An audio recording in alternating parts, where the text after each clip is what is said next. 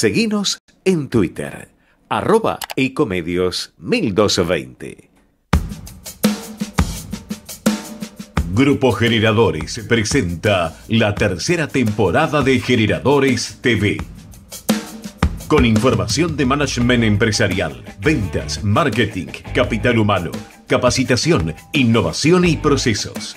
Dos horas de contenidos para que te lleves un tip, consejo, reflexión y herramientas que te ayuden a pensar y tomar decisiones en tu empresa. Conducido por Juan Sosa Fernández. Generadores TV.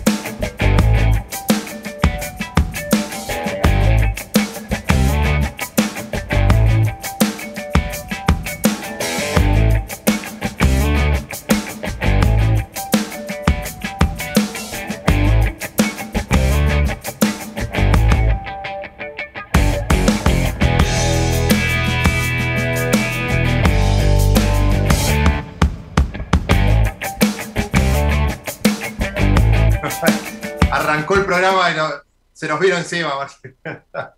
Arrancado Generadores TV, muy, pero muy buenas tardes. Estaba hablando con, nuestro invitado, realmente una gran experiencia. Estamos los dos en pantalla, no sé qué, está sucediendo. Ahí está, ahí está, vamos todavía, vamos con todo. Ahora, lo vamos a presentar como corresponde y que les digo buenas tardes a todos. Pasa que con nuestro invitado hoy nos conocemos de otra vida, como dijimos, con otros sombreros en otras compañías, entonces estábamos charlando de cosas gratas del pasado. Así que bueno, muy buenas tardes a todos. Arranca esto que hemos dado por llamar Generadores TV y les quiero agradecer muchísimo, como somos una pyme, Grupo Generadores es la pyme que se encarga de, armar los contenidos para esto en nuestra empresa que tenemos junto a Emiliano Marchiori, mi socio, y la verdad que estamos muy contentos y agradecidos que las pymes nos acompañen como auspiciantes, como New Consulting, Vanessa Durán, Sanity Free, Pirelli, Instituto Pyme Banco Ciudad, eh, eh, Be Connected, estos dispositivos de internet inalámbrico que los amo, que estamos haciendo el programa de radio, hago todos los vivos, la verdad que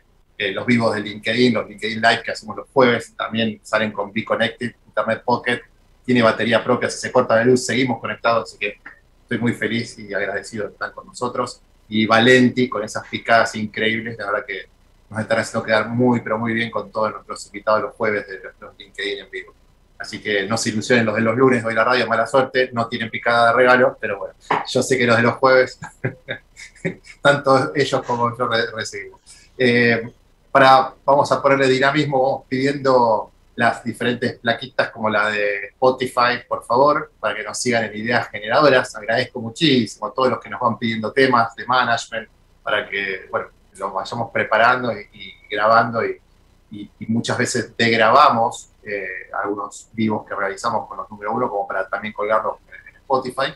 Eh, después, este jueves tenemos el mano a mano como en casa en LinkedIn Live, eh, que vamos a tener a, Juan Martínez Córdoba, bueno, director y CEO de Valenti. justamente les estaba diciendo que ya llegó de su viaje y teníamos pendiente de hacer un vivo y la verdad que tiene un gran crecimiento Valenti, tiene una experiencia increíble, bueno, y siempre da muchas herramientas para las pymes y los emprendedores que están eh, bueno, en Argentina y obviamente en otras latitudes que participan siempre de estos vivos, así que vamos a disfrutar mucho jueves 16 horas, mano a mano, como en casa, es un LinkedIn Live, ingresando a Juan Sosa Fernández, tanto en LinkedIn como en YouTube. Eh, van vivo por las dos, por las dos redes. Eh, vamos a, sí, ya mismo la placa de entrevista por el número uno, así presentamos a nuestro primer invitado del día. De la mano de los mejores. Experiencias, aciertos y desaciertos de los empresarios número uno de nuestro país.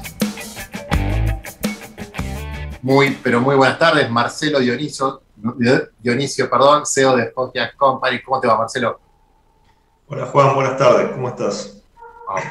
muy bien y bueno, gracias por, participar y por donar parte de tu tiempo a, a este humilde programa Generales TV, donde muchas pymes y muchos emprendedores nos siguen y muchos dueños de empresas, así que estamos contentos de estar en este ecosistema y bueno, que números uno como vos nos aporten herramientas, eh, conceptos, consejos, así que está, está muy bueno. Eh, ustedes representan, son un fondo que está diversificado en tres divisiones, sustentabilidad, salud y entretenimiento, ¿no?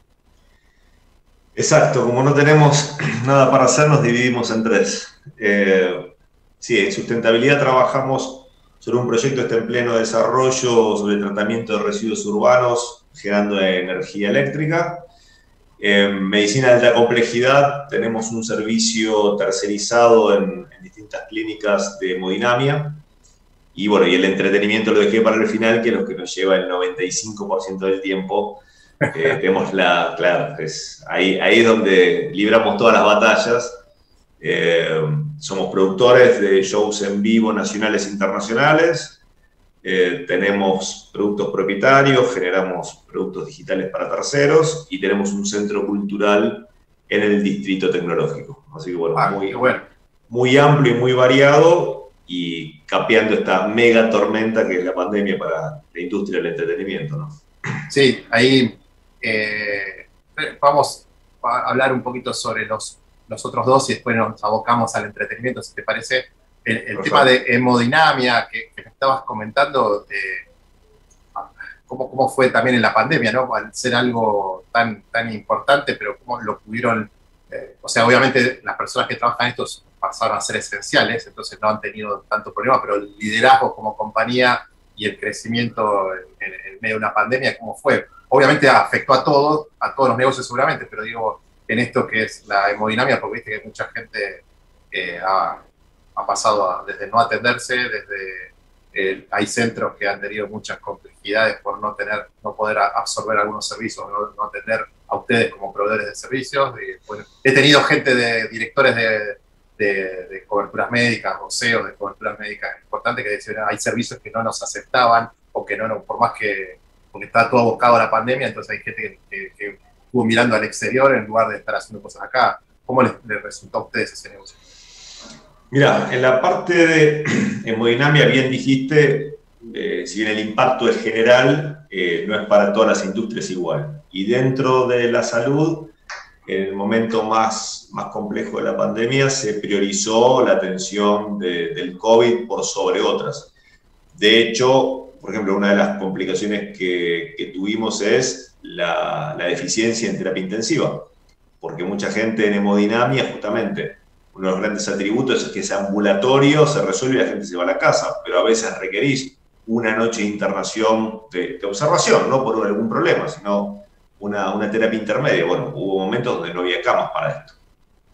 Entonces los casos que podían requerir terapia intensiva se demoraron todo lo posible o era una batalla palmo a palmo por conseguir esa cama por una noche eh, situaciones tipo hubo varias. También bajó mucho el servicio, todo lo que tuvo que ver con atención de cardiopatías, no solo las que eran eh, necesarias atender por hemodinamia, se redujeron porque la gente tenía temor de ir a los centros médicos, cualquiera de ellos, hospitales, sanatorios privados, los que fueran, por temor a contagiarse. De hecho, el índice de fallecidos por problemas cardiovasculares subió durante la pandemia por falta de atención en tiempo y forma porque la gente llegaba a los centros de atención al límite y situaciones que en normalidad se hubiesen salvado porque hubiesen sido atendidos, ya llegaban a una situación que no, no, había chances o la chance era muy remota. Eh, con lo cual, esto fue bastante frecuente en el momento pico. Después, cuando empezaron, cuando empezó a bajar un poco el nivel de, de complejidad, ya volvió rápidamente a la normalidad porque la gente no es tonta y nadie se quiere morir de nada, ni de COVID ni de un ataque cardíaco. Pero, pero eh, específicamente en ese momento, en el momento tope de la pandemia, pasaron estas circunstancias que te comento. El, el, esa, justo respondiste una de las preguntas que te iba a hacer, porque el COVID eh, abarcó la, mayoría de la ocupación y hay gente que dejó de lado. Bueno, te iba a preguntar eso, si ustedes vieron el impacto de la gente que no se atendió otras, otras dolencias como para, para, bueno, para llevar adelante, ¿no? Y la verdad que también impacta el negocio. Te duele, te duele el hombro, te duele la rodilla, y bueno, el traumatólogo después, pues si te duele el pecho y es un problema cardíaco, y viste cómo somos los seres humanos que nos autoengañamos. Entonces, en algún momento era, bueno, no debe ser. ¿Y por qué no debería ser? Porque se te ocurre a vos, pues tenés ganas que no sea, que lo diga un médico. Bueno, no iban al médico. Y claro. esto llevó a que hubiese un nivel de fallecidos por problemas cardíacos superior a la, a la media anual por esta problemática. Sí. Y bueno, la sustentabilidad, entonces, ¿cómo, ¿cómo, impactó el negocio de sustentabilidad? Si después ya volcamos al entretenimiento directamente, que ahí tengo varias preguntas para hacerte, pero el tema del desarrollo, porque siendo un fondo que ustedes manejan la planificación, ¿no? o sea, tienen las, inversiones que, se vinculan con cada una de, estas tres patas, sustentabilidad, la y el entretenimiento, que, es economía real y, y los sectores que, acabo de mencionar, ¿no? Entretenimiento, sustentabilidad y salud. O sea, es, así manejan vos, los equipos, manejan estos tres universos, digamos, de negocio. Lo nuestro es totalmente economía real, no, no por bueno o por malo, no, no, no manejamos especulación financiera, son inversores reales en la economía real, como bien decís. El de sustentabilidad prácticamente no tuvo impacto porque es algo que todavía está en trabajo de incubadora. Tenemos una alianza cerrada con el SEAMSE, con lo cual está en pleno desarrollo. Se, se puso un poco más lento porque teníamos los problemas de cómo trabajaban los ingenieros y los equipos técnicos, pero no, no, nos perjudicó ni, ni, nos pegó en la línea de flotación. Eh, así que no, no, fue un gran problema para la sustentabilidad. te diría porque no está funcionando. Si estuviéramos funcionando a pleno, quizás el problema hubiese sido mayor, porque Además que la gente se recogieron residuos desde la pandemia, tuvo menor consumo, con lo cual cuando vos producís energía a partir del consumo de residuos y bajan los insumos, también vas a tener problemas de productividad. Pero en este caso eh, no nos impactó. Sí. Y bueno, vos previamente, ahora vamos a ir a la parte de entrenamiento, habías trabajado en Phoenix Entertainment Group como en la gerencia general, bueno, de ahí está la mega experiencia que, tenías, que tenés y que has adquirido y todo lo que has hecho en el posicionamiento, en el crecimiento, todos los desafíos que fue afianzar esa, esa compañía que ha traído tanto, tanto entretenimiento a la República Argentina. Bueno, y, creo que en la región también han hecho cosas, ¿no? Solamente en Argentina. Eso, corregime, por ahora que no, no, no, recuerdo si también han hecho espectáculos afuera desde lo que era Fénix cuando vos estabas. Eh, y por otro lado, bueno, decir, trabajaste anteriormente en Mastercard también, o sea, tenés una amplia experiencia en diferentes sectores que ahora, bueno, volcás al entretenimiento en esta, en esta nueva etapa.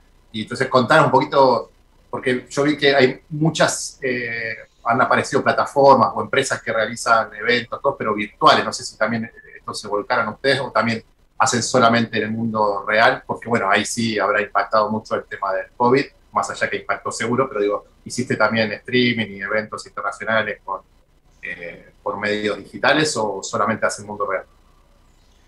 Bueno, empiezo ahí por el principio para darle una lógica. Empecé eh, allá en Mastercard cuando era joven y tenía pelo. Eh, a los 25 años fui gerente de entretenimiento para Mastercard. Que en ese momento el entretenimiento era muy chiquito. De hecho, fue mi interinato como gerente, me iban a probar a ver cómo funcionaba. Ahí empecé a trabajarlo, mi laburo era insertar el negocio de las tarjetas de crédito y los medios de pago integrados al entretenimiento que era mínima en esa época. Empezaban ya las tiqueteras como Ticketek, como Ticketmaster, empezaba la profesionalización de la industria. Eh, ahí trabajé en esa área ocho años y en el 2006 me fui a Phoenix, donde fui el gerente general por ocho años. Eh, la verdad tuvimos la década dorada, hicimos todo, hicimos todo lo nacional, todo lo, sobre todo todo lo latino, muy fuerte, todo, Luis Miguel, Maná, Arjona, Ricky Martin, lo que se te ocurra, los grandes festivales, Lollapalooza, Personal Fest, y trabajábamos en toda la región. me preguntabas eso, sí. En un momento fuimos la productora argentina más grande de Latinoamérica, siendo argentinos. Estaba CIE, por supuesto, en México, estaba Time for Fun en Brasil, pero competíamos palmo a palmo con los grandes monstruos, así que fue una, gran época eh, de mucho trabajo y también de mucho aprendizaje. Y actualmente, bueno, en noviembre del 2016 armé Fogia Company a partir del concepto del fondo y me fui y armé también, por supuesto, entretenimiento.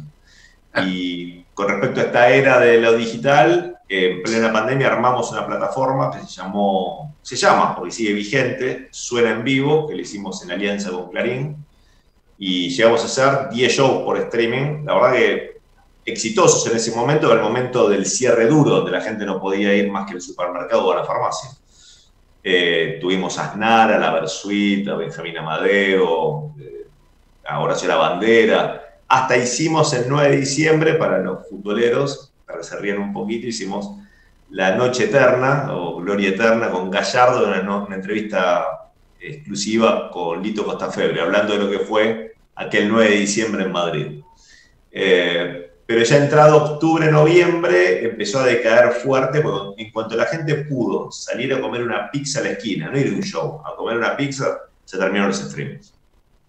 Y se acabó, ¿eh? no vendías un ticket ni en joda.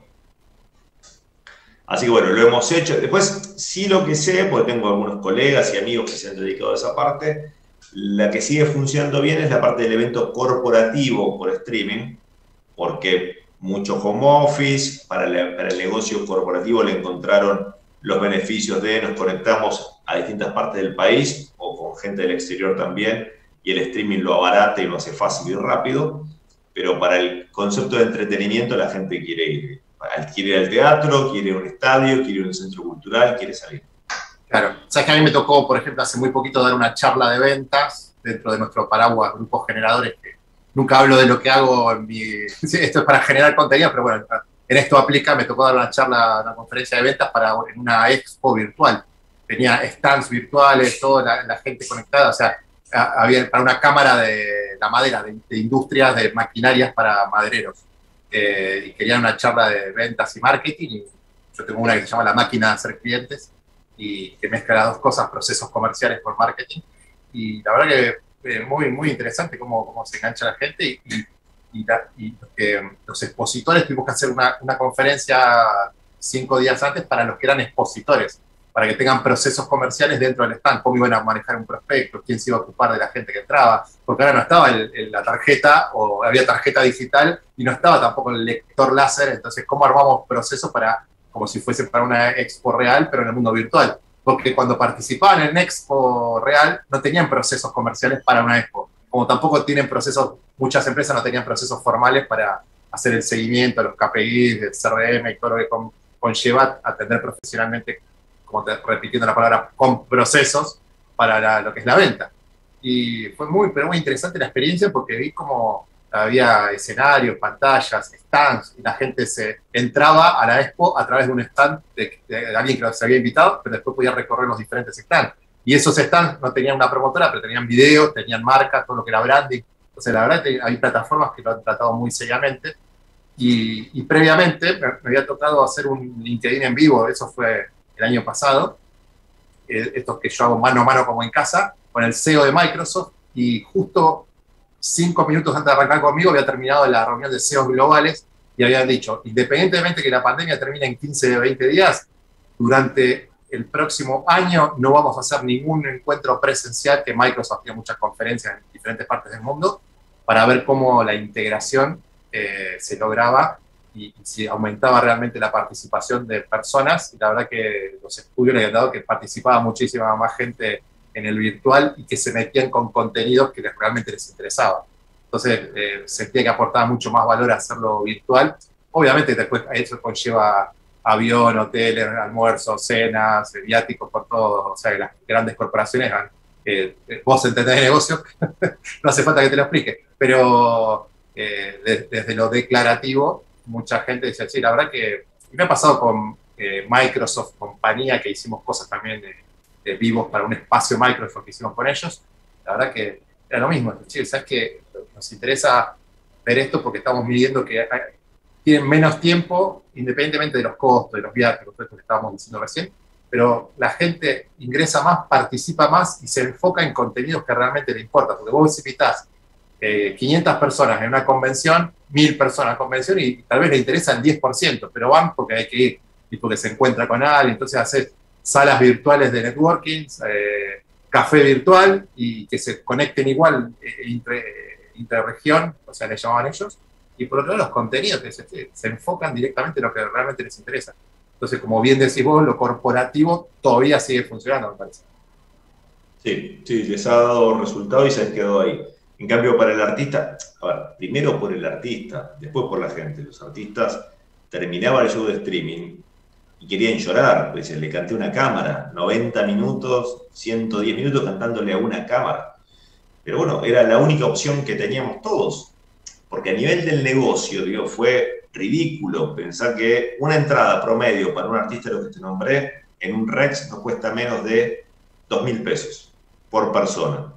Y vos vendías los tickets a 500 pesos para un grupo de 4, 6, los que se juntaran. Entonces, era más cara la pizza que comían que la entrada que habían pagado. y aparte por cuatro. Eh, yo siempre digo, claro, por cuatro. Eh, mi grupo familiar, solo tengo dos nenas, y, mi, esposa, y yo, ¿no? Y, por ejemplo, vamos a ver a Tini al teatro. Y Tini se asegura cuatro entradas conmigo, no dos. no, es que van, no, es que van, las dos nenas. Eh, hemos ido acá en, Pilar, cuando estaba el Movistar, creo que no es más Movistar Arena en Pilar, eh, Ricky Martin. El DirecTV Arena, perdón. DirecTV Arena, ahí está. Eh, Ricky Martin. Ricky Martin se aseguró cuatro entradas conmigo, ¿no? Con mi familia, no eran dos para las chicas. Claro. Ahora fue una y a un cuarto de su precio. O sea, una fatalidad absoluta. O sea, para el negocio es, sí, sí, sí. Es para cerrar todo. Así que bueno, eso fue lo que pasó durante la pandemia con los streamings. Por eso, en cuanto la gente pudo salir, y los artistas pudieron tocar afuera, prefirieron cualquier formato, el que sea en ese momento, pero afuera, no por streaming. Y ahora, y, después del streaming, ¿ya eh, estás haciendo presenciales? Sí, nosotros ya empezamos, apenas tuvimos la ventana de noviembre 2020 a marzo 2021, ahí ya empezamos a programar, hubo varios shows, no solo los nuestros, nosotros teníamos cerrada la gira de Trueno, que soy el trapper, el rap el rapper, no el trapper, se enoja si le digo trapper. Es el rapper número uno de Argentina junto a vos. Eh, hicimos, hicimos Sur en Vivo, que es nuestro centro cultural. Eh, eh, con, un híbrido, con presencial y, el streaming, porque hicimos mundial. Ahí sí hicimos el streaming, valía la pena, porque después venía la gira de trueno en México y en España. Entonces lo, lo mostramos afuera y la gira por Córdoba y Rosario, estuvieron los dos soldados. Todo con aforos y, protocolos sanitarios. En Córdoba para mil personas y en Rosario hizo una doble función para 650 personas cada uno. Cuando venía la segunda vuelta del, tour, que cerrábamos el atrevido tour en el Gran Rex, por el éxito que tuvo Mateo, o Mateo, Mateo Trueno, eh, nos vino el cierre con todo el Rex eh, vendido para el 5 de mayo, en abril viene el segundo cierre. Lo pasamos a junio y cuando vimos que tampoco se salía, dije, bueno, hagámoslo después de la gira en España y lo pasamos para el 28 de septiembre. Cuando vino la reapertura, abrimos la segunda función el 29, la agotamos y el jueves pasado acabamos de anunciar la tercera. Así que estamos con el tercer Rex de Trueno y preparando la gira por el interior para a partir de noviembre, que va a ser Córdoba, Tucumán, Rosario, vuelve a estas dos plazas, son las más importantes del interior para los shows, y estamos eh, proyectando Mendoza, San Juan, Jujuy y Salta. Ah, te iba, a preguntar de, Mendoza, te iba a preguntar Mendoza y San Juan, que también siempre hacen muchos shows. Lo que pasa es que están siendo mucho más estrictos con los protocolos. Hoy Mendoza te autoriza en un lugar cerrado 250 personas. Estamos fritos, no, no hay forma que den los números o sea, para pagar el transporte y el hotel. O sea, no es, claro si gano plata, no cierra el negocio directamente. ¿Y ustedes producen artistas también o, los artistas ya son de compañías consagradas y vos haces el, evento y no te metes en, en, desarrollo de un artista, en producir un artista que te guste, que te parezca que tiene futuro, que te parezca... No, por, por ahora no hacemos eso, hemos tenido algunas propuestas, pero digo, la verdad, hay que, hay que saber hacerlo y hay que dedicarle tiempo sobre todo. Desarrollar un artista requiere mucha hora hombre, mucho tiempo, mucha dedicación de cabezas creativas y eso tenemos mucho volumen de trabajo. tanto local como ahora el armado de la plataforma internacional. Entonces es realmente eh, complejo estar de los dos lados del mostrador, con lo cual, por ejemplo, el productor artístico discográfico de Trueno es Newen, que es una discográfica especializada, es la del hijo de Víctor Heredia, de Tayu ah, Heredia. Eh, que le produce los discos, tiene el Dorado que es un productor artístico y están todo el día con eso. Ellos no levantan un clavo para hacer una producción, es como, es un somos un complemento. Claro. Eh, así que en esa área todavía no, no incursionamos.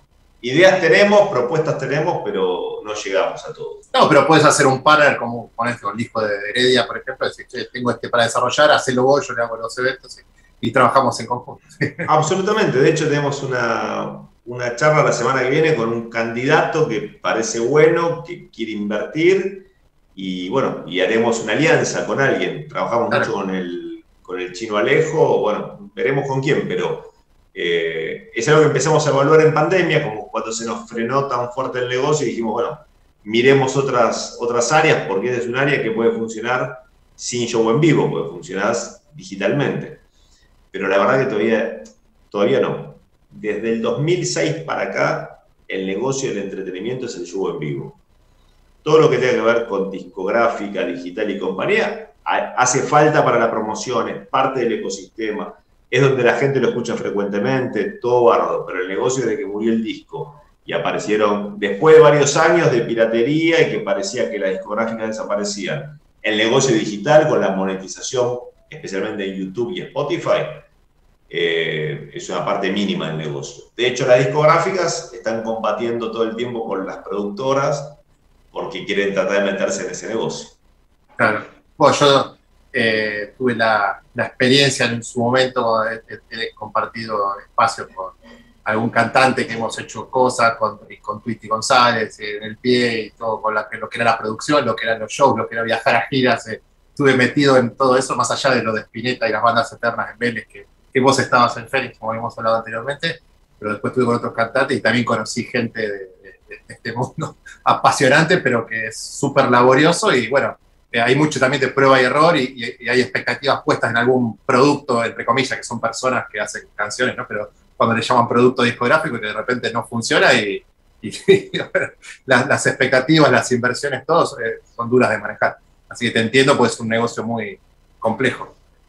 Es complejo, la verdad que es complejo. Y esa es también una explicación de por qué surgen menos talentos que antes.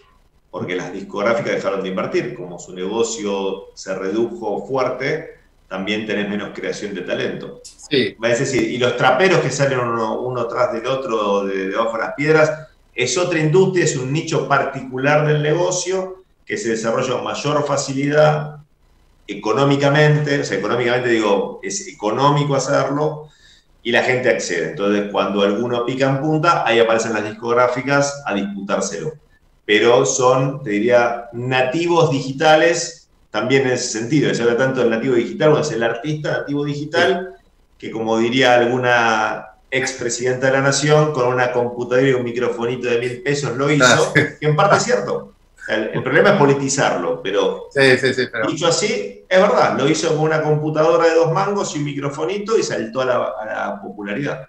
Igual te voy a decir algo, lo dice Juan Sosa Fernández, no lo dice Marcelo Dionisio. Eh, las discográficas también, eh, pudiera cantar yo si tengo 5 eh, millones de seguidores y con esta voz que tengo ahora en este momento y, que no sé ni cantar el arroró y si tengo 5 palos de seguidores, me, invierten. Ahora va un tipo con mucho talento que tiene que empezar de cero o que tiene mil seguidores porque está arrancando y hace un año que está tocando, canta excelente o estudió y tiene todo y no, le dan ni la hora ni le abren la puerta.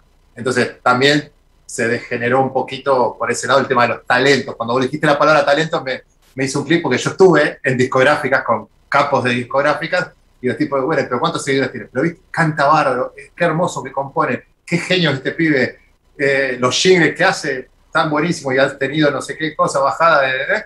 Ah, pero ¿cuántos seguidores tiene?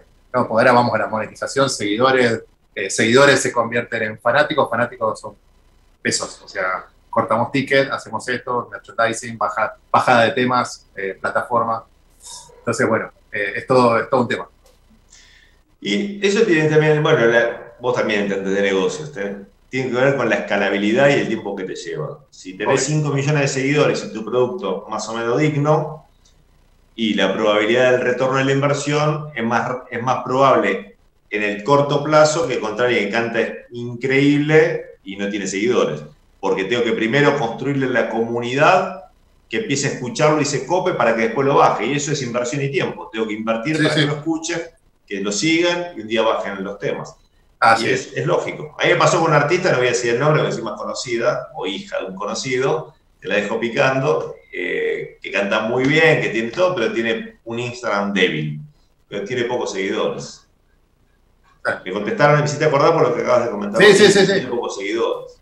No, y talento, seguramente, seguramente les sobraba talento, pero yo estuve con gente que escribía, cantaba, tocaba, o sea, ¿cómo, cómo ha, hecho éxito para, novelas y cosas de televisión, todo, pero pues sí, ¿cómo está perdido? Bueno, no, no, no tiene los seguidores, no, no, lo desarrollaron en su momento como tenía que haber desarrollado, ¿verdad? Y bueno, es un tema de, justamente, no, no, no, predominó el talento. Y, después estuve con gente de compañía como Cookie de Leader Music, que se dedicó a, a la granja de Zenón, a todo el tema de los niños y a YouTube, eso y es un éxito total. Eh, eh, la granja, no me puedo acordar, canciones de la granja, ahí está, canciones de la granja. La granja de Zenón. La granja de Zenón y canciones de la granja, todo eso, que la verdad que el éxito de Latinoamérica es de sponsorship por todos lados, de marcas que uno de los, eh, Google, cuando va a lanzar un producto de Latinoamérica, nos llama para que ellos opinen, eh, lo llevan a las convenciones de Google en Silicon Valley, o sea, la verdad lo que ha crecido, y vos venía del tema de la música de cumbia con la discográfica, un local de música en Constitución. De, ahí, de eso a la discográfica Leader Music, como veis, ahora se fue reconvirtiendo constantemente. Es un caso de éxito argentino. Un caso de éxito fenomenal. Y también decidí desarrollarlo en pleno 2001, cuando su empresa volcó. Así que con más razón, fue un ingenio puro en el peor momento. Exactamente. Pero bueno, Marcelo, la verdad te súper agradezco una charla hermosa. con tu tranquilidad y te, aseguro que diste un montón de herramientas para el, tema de invertir, reconvertirse, de posicionar, de entender, de entender del negocio, de meterse, de, ir capando la, la, tormenta. La verdad que nos has dejado varias cosas y creo que el empresario que lo está escuchando, o la pyme, o el emprendedor, va a encontrar dónde apoyarse con todo lo que nos has dicho. Así que te quería agradecer mucho por haber compartido. Juan, te agradezco mucho tus palabras. Al contrario, gracias a, vos por convocarme y por tu tiempo. Y ojalá, si a alguien le sirvió algo, ya estamos hechos. ese es el propósito, hacer la caja de herramientas. Me gusta decir eso. Así que te agradezco muchísimo. Vamos a una tanda y después vamos con eh, la placa directamente de herramientas de transformación digital con los amigos de Snoop Muchas gracias.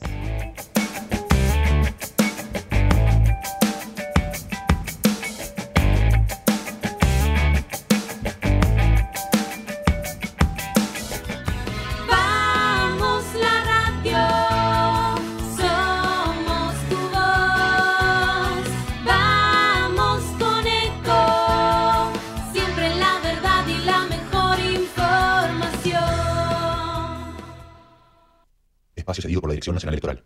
Quinta de Olivo, junio 2015. Oíme, Florencio, ¿vas para gobernador? No, no, no. Cristina, yo iba a competir en las PASO, para presidente. Yo cumplo, vos cumplís. Siempre supe que no eras uno de los nuestros. Me recontra con todos y la puta madre. Le dijo que no a Cristina. No todos son lo mismo. Florencio hace bien. Lista 508. Frente Vamos como letra F. Precandidatos a diputados nacionales por la provincia de Buenos Aires. Florencio Randazzo, Carolina Castro. El mejor gimnasio te espera. Elegí las clases que quieras.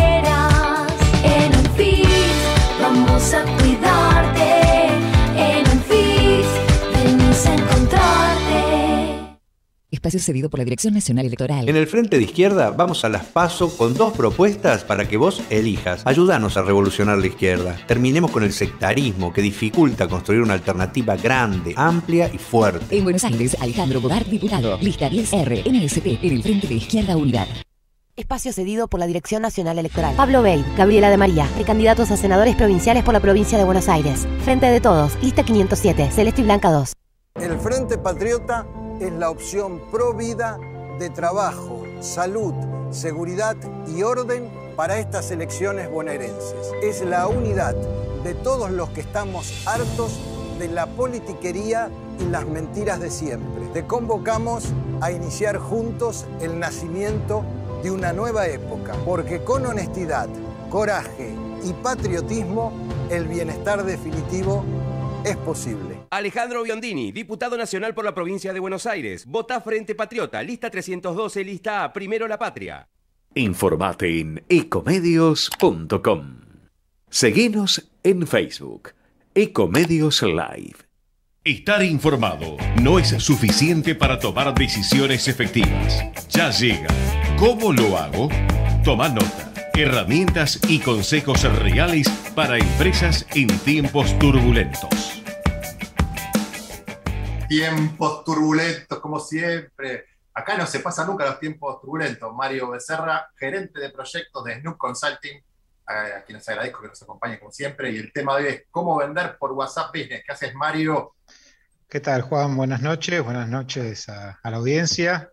Y sí, la verdad que los tiempos turbulentos acá son demasiado, demasiado largos. Eh, de- desde que tengo memoria, ya más de 50 años, siempre son tiempos turbulentos, ¿no? Uno escuchaba a, a los padres, ¿no? Escuchaba decir, uh, este año viene difícil y, y ahora nos toca a nosotros, ¿no? Cada ¿Cu- vez ¿Cuántos años tenés? ¿Cuántos años tenés? cincu- 53. Ah, mira, yo cumplo en noviembre 50, así que te entiendo porque somos ahí contemporáneos. Así que, bueno, eh, y para, para estos tiempos turbulentos, me parece que esto que, que le voy a contar, no sé si mucha gente lo, lo conoce, todos usamos WhatsApp, eh, herramienta hoy fundamental para poder comunicarnos, eh, pero esta herramienta tiene, ahí está, mira, dos, tengo dos WhatsApp. Whats- WhatsApp Business acá y WhatsApp. Business acá. Dos WhatsApp. Business tengo. Muy bien, bueno, en tu WhatsApp Business, ahí podés tener un hermoso catálogo gratuito, eh, donde podés poner hasta 500 productos o servicios que, que quieras vender, y tenés una tienda totalmente gratis a, disposición y podés eh, interactuar con público, armar un carrito de, de compras, donde agregás eh, todos los productos que, quieran poner. Y mm, lo único que le falta todavía es la parte de pago, pero que ya pronto seguramente se, empezará a, liberar, lo están liberando por zonas. Ahora obviamente el mercado brasilero es el que lo tiene eh, funcionando. Eh, supongo que acá en algunos meses seguramente ya, ya estará eh, aplicando, pero se puede en principio hoy sortear porque como tiene un link que vos podés colocar en cada, en cada artículo, bueno, lo podrías llevar a una plataforma de pago, como ser Mercado Pago o cualquier otra plataforma de pago, y de ahí terminás haciendo la, la transacción. Y eso te Esto- sale cero pesos. Cero pesos, claro. Esto es como la, la- la plataforma de pagos, como, la, como el WhatsApp, que nunca me acuerdo del WhatsApp chino, ¿no? Que tiene ya plataforma de pagos, todo. Claro, va a ser un WhatsApp Pay, se va a llamar, o por lo Claro. menos así es el nombre. Eh, y te permite, eh, bueno, te va a permitir hacer, transaccionar como si fuera Mercado Pago, pero todavía no, no está disponible acá en Argentina. Pero mientras tanto, uno puede interactuar, cargar un catálogo, eh, tener eh, descripción del producto, interactuar con las personas, sacar dudas, incluso, bueno, vos le podés poner precio o podés poner el artículo y eh, que la gente te consulte. Pero directamente uno podría ya colocar el precio y que la persona pueda armar el carrito y en definitiva hoy se tiene que terminar contactando para concretar la venta, la venta. Y bueno, en ese caso le pasarás un link, si no tenés el link armado, el link de pago con cualquier plataforma de pago que, puedas contratar. Eh, entonces, eh, me parece que es, mm, digamos, si uno tiene un pequeño emprendimiento, antes de ir a una, a un e-commerce, por más chiquitito que sea, eh, esto me parece que es una buena prueba para empezar a, a meterse en el, en el mundo de- del e-commerce, poder tener hasta incluso el catálogo en línea, ¿no? Porque 500 ítems que uno puede cargar es bastante ¿eh? para, para cualquier, digamos, eh, tienda que se quiera eh, Sí, abrir. aparte de esto, que la, resolvés la inmediatez, o sea, la- el público que vos tenés una página web o tenés un tienda nube, Mercado Libre, lo que sea, hasta que no, no ves el mensaje y le respondés, pero acá es WhatsApp, o sea, entró directo a tu, al WhatsApp y respondés la inmediatez y podés cerrar una operación, eh, como dicen, en caliente. Exactamente, ahí lo podés, eh, eh, lo podés eh, sacar todas las dudas, concretar la, venta y, como bien decís, el tema de, de todo, todo, digamos, los manuales de, este tipo de venta de e-commerce, obviamente se habla de la venta en caliente, ¿no? Cuando uno está ahí interesado en el producto, tiene más chance de que cuando hace muchas preguntas, más chance de que se pueda concretar la venta. Así que creo que es algo que hay que tenerlo muy en cuenta. Eh, sí eh, está solamente disponible para la, versión business, que tampoco es tan difícil de, conseguirla, ¿no? Uno puede transformar rápidamente eh, su, WhatsApp en un WhatsApp business. Hay que tener un poquito de precauciones porque no sé si lo hiciste vos, pero tenés que salvar, digamos, tus conversaciones para que después el WhatsApp Business lo puedas como reinstalar por las dudas, ¿no? Eh, esa copia de seguridad que, que, uno por ahí la tiene programada para las de la mañana, eh, siempre tenerla activa para que cuando habilites el WhatsApp Business, tenés que bajar la otra aplicación y ahí puedas bajar todos tus contactos con todas las conversaciones, videos e imágenes que, que puedas tener. Bueno, sí, yo a mí me tocó hacerlo, aparte, eh, si no tenés un teléfono con doble chip, no podés, o sea, tenés que tener el WhatsApp Business o el tradicional. Claro. En el caso, el tema es que es gratuito, o sea, es una súper herramienta y que lo, lo podés, yo lo tengo el WhatsApp Business en mi teléfono personal, digamos, y la verdad funciona igual que el otro, pero eh, también uso algunas, algunas bondades del business como para trabajar cuando trabajo con el mío personal, pero también tengo un segundo teléfono que es exclusivamente para el trabajo y, y que a ese le damos más, más, más power al, al WhatsApp, lo tenés en, en, la web, lo tenés en las redes sociales. Claro, acá cuando, cuando habilitas la tienda en el WhatsApp Business se ap aparece una, un icono de una, una tienda, a ver si lo podemos ver ahí, no, difícil, ¿no? Me parece bien. Por el brillo, sí, más o menos ahí se ve. ¿Ustedes tienen tienda de Snoop? No, no, este, ah. era de, este es de un compañero, un compañero ah. de Guillermo del Castillo, que es, que es mago y tiene su tienda eh, donde promociona sus shows y, bueno, a, través de ahí se, se, contacta con, con, clientes. Una opción más, no te digo que es la, la única por, por, excelencia, pero me parece que es algo para aprovechar. Eh, como todo necesita dedicación, hay que generar el catálogo, hay que atender las consultas, eh, si uno hace todo esto y después no responde, eh, una cosa es que alguien te consulte a las 2 de la mañana, pero ya temprano vos le podés responder, porque bueno, eso te puede pasar, ¿no? Que, te aparezcan respuestas. Tenés una manera de setear también respuestas automáticas, o sea, cada vez va creciendo un poco más y creo que eh, para una pyme es una, una herramienta muy valiosa y que te puede meter en el mundo del e-commerce a un bajo costo eh, por decir algo, es a cero costo, simplemente es dedicarle tiempo y esfuerzo. Sí, obviamente después tenés eh, los costos asociados a la plataforma de pago. Obviamente si usás un mercado pago, bueno, vas a tener los costos de utilizar la plataforma de mercado pago, pero podrías terminar eh, concretando la transacción presencial, por efectivo, por otros medios de, pago que no requieran una plataforma, aunque siempre es recomendable usar una plataforma de pago por, por temas de seguridad e inmediatez, ¿no? Porque ahí cerrás realmente la, la venta. Perfecto. Eh, ¿Alguna sugerencia más con WhatsApp Business? Porque también podés poner el, el, logo en las redes sociales, ¿no? En la web, o sea, el icono, perdón, el icono, porque vos podés entrar eh, directo. Puedes entrar claro, directo además, en una además, página web y lo usás como un chatbot. Si no tenés un chatbot de buena calidad, es preferible claro. poner el WhatsApp Business que poner el chatbot. Claro, no solo desde una página, sino además eh, desde Facebook. En ¿eh? Facebook tenés el botón conectarse por WhatsApp y automáticamente eh, recibís ahí la, las consultas de, tu público, de tus clientes o futuros clientes eh, y vas armando todo un ecosistema, que todo tenga que ver. Obviamente, si tenés una página web, bueno, fenomenal porque llevas tráfico a, tu página web. Si podés además hacer eh, avisos en las distintas plataformas de avisos, como ser Google Ads o mismo Facebook o Instagram. Eh, todo eso va alimentando tu ecosistema para que tu público te, te conozca. Como hemos dicho en algunos otros programas, eh, siempre un, una buena plataforma de e-commerce necesita publicidad, porque si no es tener un almacén completo de mercadería y con la persiana baja, que nadie lo conoce.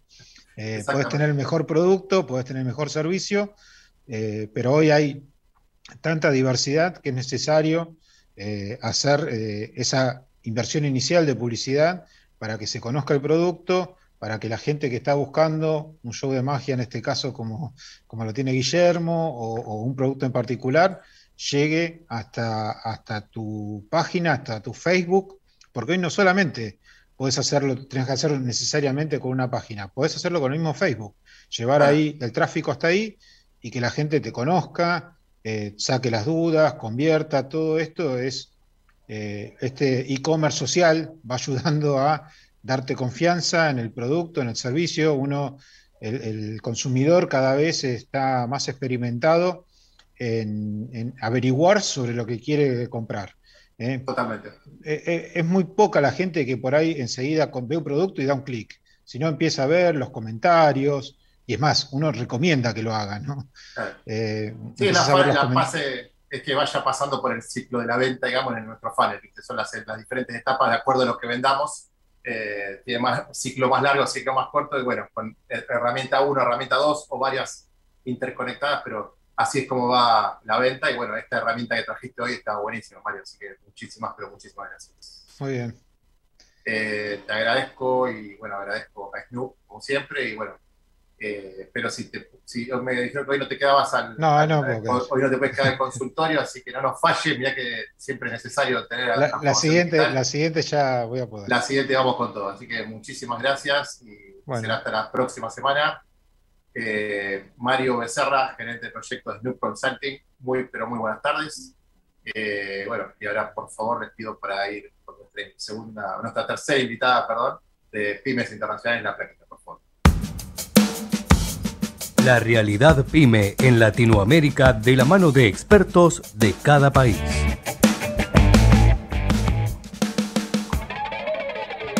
Ahí estamos desde Uruguay, Alfonsina Magariños, Realtor asociado de y Team Leader en RIMAX Uruguay. Y bueno, el tema es como eh, la, la actualidad de las pymes del mundo de los negocios en Uruguay. Y digo, estoy esperando acá que, que se conecte. ¿Cómo estás, Juan? ¿Todo bien? Todo bien, ¿cómo te va, Alfonsina? Todo bien, todo bien, por suerte. Ahí justo le, le decía a, a Martín casi que mi pasaje de hoy es medio express, pero bueno. sí. No hay ningún problema, no hay ningún problema. Eh, eh, estás Simplemente- saliendo sin imagen, ¿eh? ¿Puede ser? ¿Estás... Pues puede ser, puede ser, porque si no, se, posiblemente hoy se, se corte. Ah, mira. Por eso Bueno, estoy saliendo sin imagen. Entendido, entendido. Perfecto. Bueno. Este, ¿Cómo estás vos, Juan? ¿Bien? Sí, bien, bien. Estaba justamente hoy, hoy me tocó hablar con una, con una empresa de condimentos de Uruguay. ¿Sabes que justo ya ahora me- no, me puedo acordar, el- no me puedo acordar el nombre? Eh, a ver si me, si me alcanza ese. Bueno. Bueno, ahora ya, ya voy a encontrar el nombre, no te quiero, no quiero hacer perder tiempo. No, El- tranqui. no, pensé que está bueno, porque Vos sabés que- los conocés. Sí. A ver si tengo acá. Se llama Montecudine. Ah, Montecudine. Montecudine, ahí está. Hablé con la gente de Sí. Montecudine eh, hoy, que era de Uruguay, casualmente, por tema de mi empresa, no nada que ver con, la- con los medios, pero eh, ¿cómo, cómo, cómo, ¿cómo estamos en Uruguay? Contame un poquito, porque vi que había temas con el dólar, justamente en Punta del Este, que decía con el, el peso argentino con respecto al dólar y que era una Sí, locura bueno, el peso argentino, obviamente que súper devaluado, ¿no? Obviamente acá y en cualquier parte del mundo, literal. Ni que hablar de... Lamentablemente es así. Ni que hablar de eso. Ahora, bueno, bueno, yo creo que ha, ha pasado, digo, debe estar todo el mundo al tanto, pero bueno, las nuevas noticias que hace una semana más o menos la- las dictó presidencia que a partir de ahora de septiembre, todas las personas, digamos, que tengan propiedades en Uruguay van a poder ingresar. Hasta, hasta el momento no se estaba pudiendo ingresar, excepto que pidieses, digamos, una, un permiso especial, todo lo que había que hacer era bastante engorroso, bueno, en fin. Ahora ya, a partir de septiembre, todo aquel que sea propietario va a poder cruzar. Este, obviamente deberá tener las vacunas y bueno, un, par de- de situaciones más, este, no sé cómo ustedes con el tema de la vacunación, pero bueno, sí o sí tienen que tener las vacunas. Eh, y para noviembre, ya para el 1 de noviembre, cualquier persona va a poder ingresar, que eso también es bastante interesante, porque obviamente que ya abre Uruguay de forma explícita, abre las puertas del turismo, que era lo que se estaba barajando, pero que no estaba la información certera. Y bueno, ahora por suerte ya tenemos esa información como puesta sobre la mesa. Ojo, hay que ver, quizás, qué sé yo, para noviembre la situación cambia, viste que como, como es el tema de la pandemia, en un mes estás bien y de repente al otro mes es... Sí, la, la variante esta Delta que está haciendo estragos en diferentes países, bueno, espero que no, acá todavía no, no ha impactado fuerte, Exacto. esperemos que, esperemos que Pero- no suceda, pero bueno. ¿Viste cómo es el asunto? Eh, de cualquier manera, Uruguay está, digamos, te diría que llega un porcentaje, creo que la última vez que miré era eh, estaba en torno del 60% de, la población vacunada ya con las dos dosis, o sea, tenía un, porcentaje bastante elevado. Eh, de hecho, están dando ahora terceras dosis de Pfizer y, yo creo, digo, no es algo que haya todavía salido, pero es algo que se rumorea digamos, la fantasía de, eh, como hay vacunas extras, quizás poder eh, vacunar a turistas. Eh, digamos, hoy por hoy yo igual tengo contacto con un montón de clientes argentinos que se están radicando, están haciendo la residencia y qué sé yo, y que viajan para acá. Una vez que tenés la cédula en Uruguay ya te podés vacunar, o sea que está medio que corriendo eso de que va- se están vacunando gente que no son uruguayos, por Me decirlo voy a sacar la residencia fiscal para ir a Sí, vacunarme a Uruguay. sí, sí. Es que la realidad es, bueno, está mucha gente, bueno, no está haciendo, está haciendo eso. Mira, entre el año pasado, ahora, ahora este último tiempo, todavía no se dictó cuántos fueron las residencias, pero hasta hace unos meses la emisión de las residencias había sido 5.000. O sea, es un número bastante elevado. Epa. Se nos- no sé qué pasó, se nos mezcló algo. Ecomedios, se está mezclando el sonido, a ver qué pasa. Disculpen, acá ahí, ahí volvemos a la música. Uh.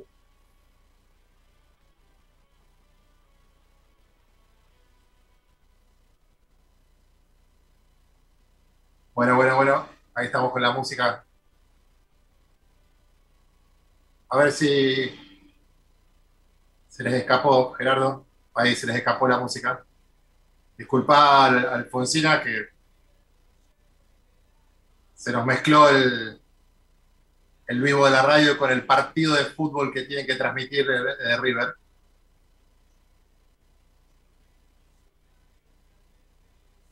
Vamos a... Ahí estoy pidiendo a producción, disculpen, disculpen. Se les mezcló el vivo, qué bárbaro.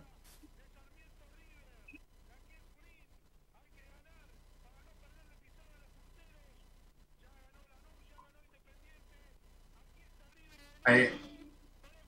Bueno, les pido que vayamos al corte porque esto no, no pueden solucionar. Se les mezcló con el partido de fútbol que están transmitiendo con la otra radio.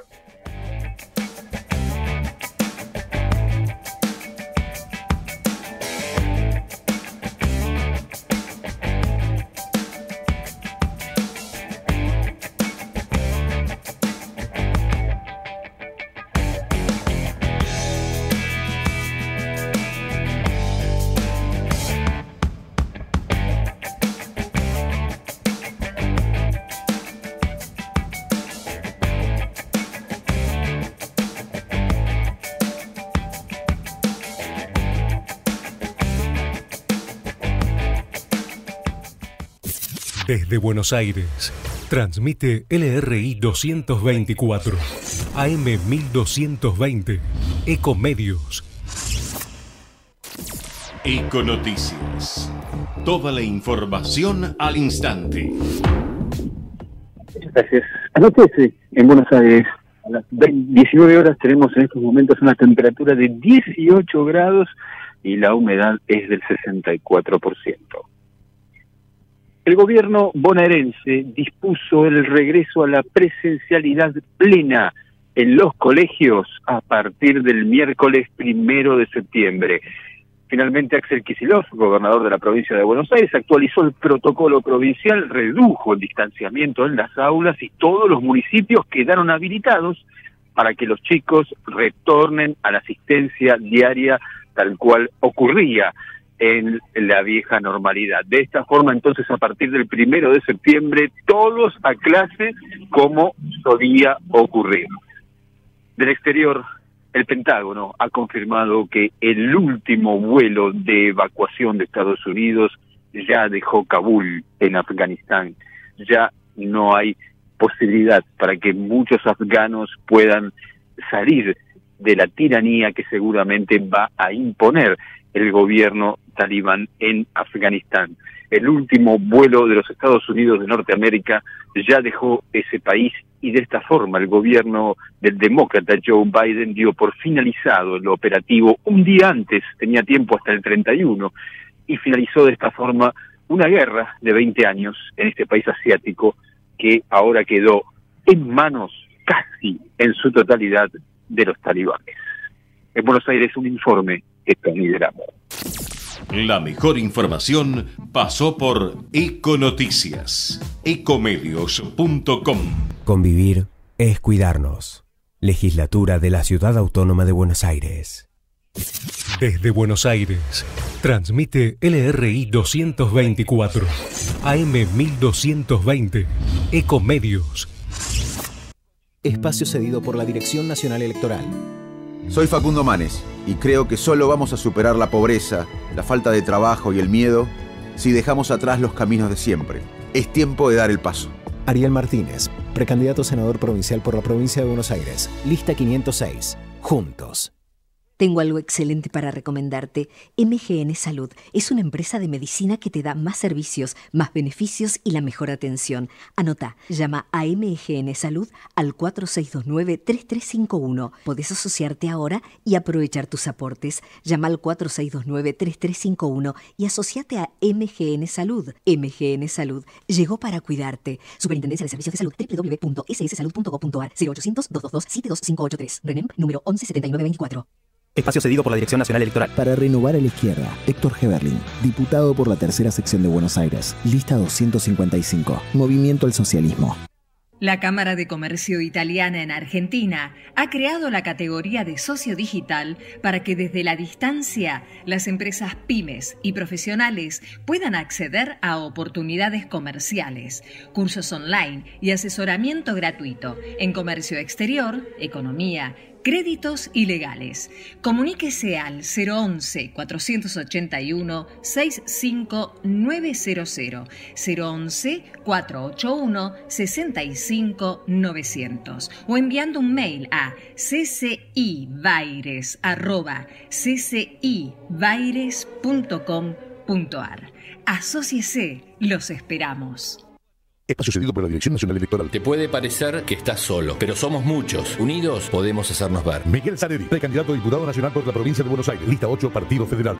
Informate en ecomedios.com.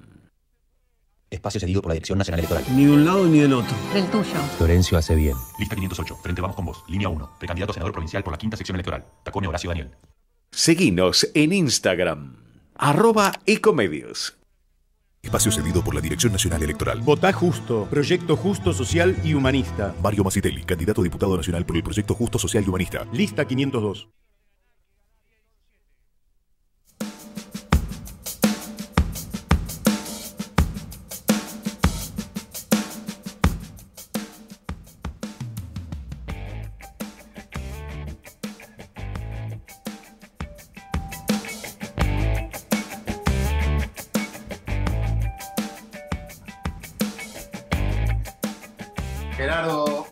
La- que me puedan sacar del vivo, pues sigo el partido de fondo y estoy con la gente acá, no puedo hacer el programa así. Podemos poner una placa hasta que puedan corregir este defecto, te lo agradezco. Y no, no está más Alfonsina Magaría tampoco. Ahí va.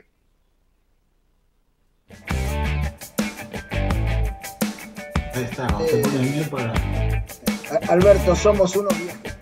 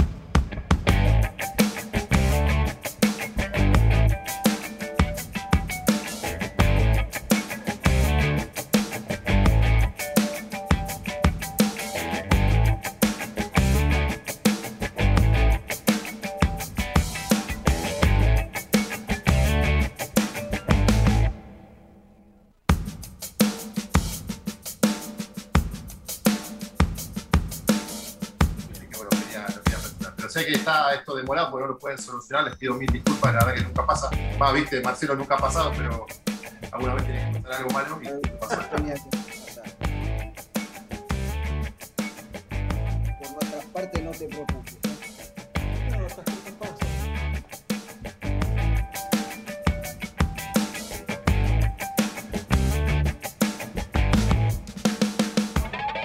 Ahí volvimos con todo, afortunadamente. Bueno, le pedir eh, la, la- la plaquita nuevamente de pymes internacionales, a ver si hacemos la presentación como corresponde a nuestros invitados y arrancamos con toda esta nueva etapa después del partido.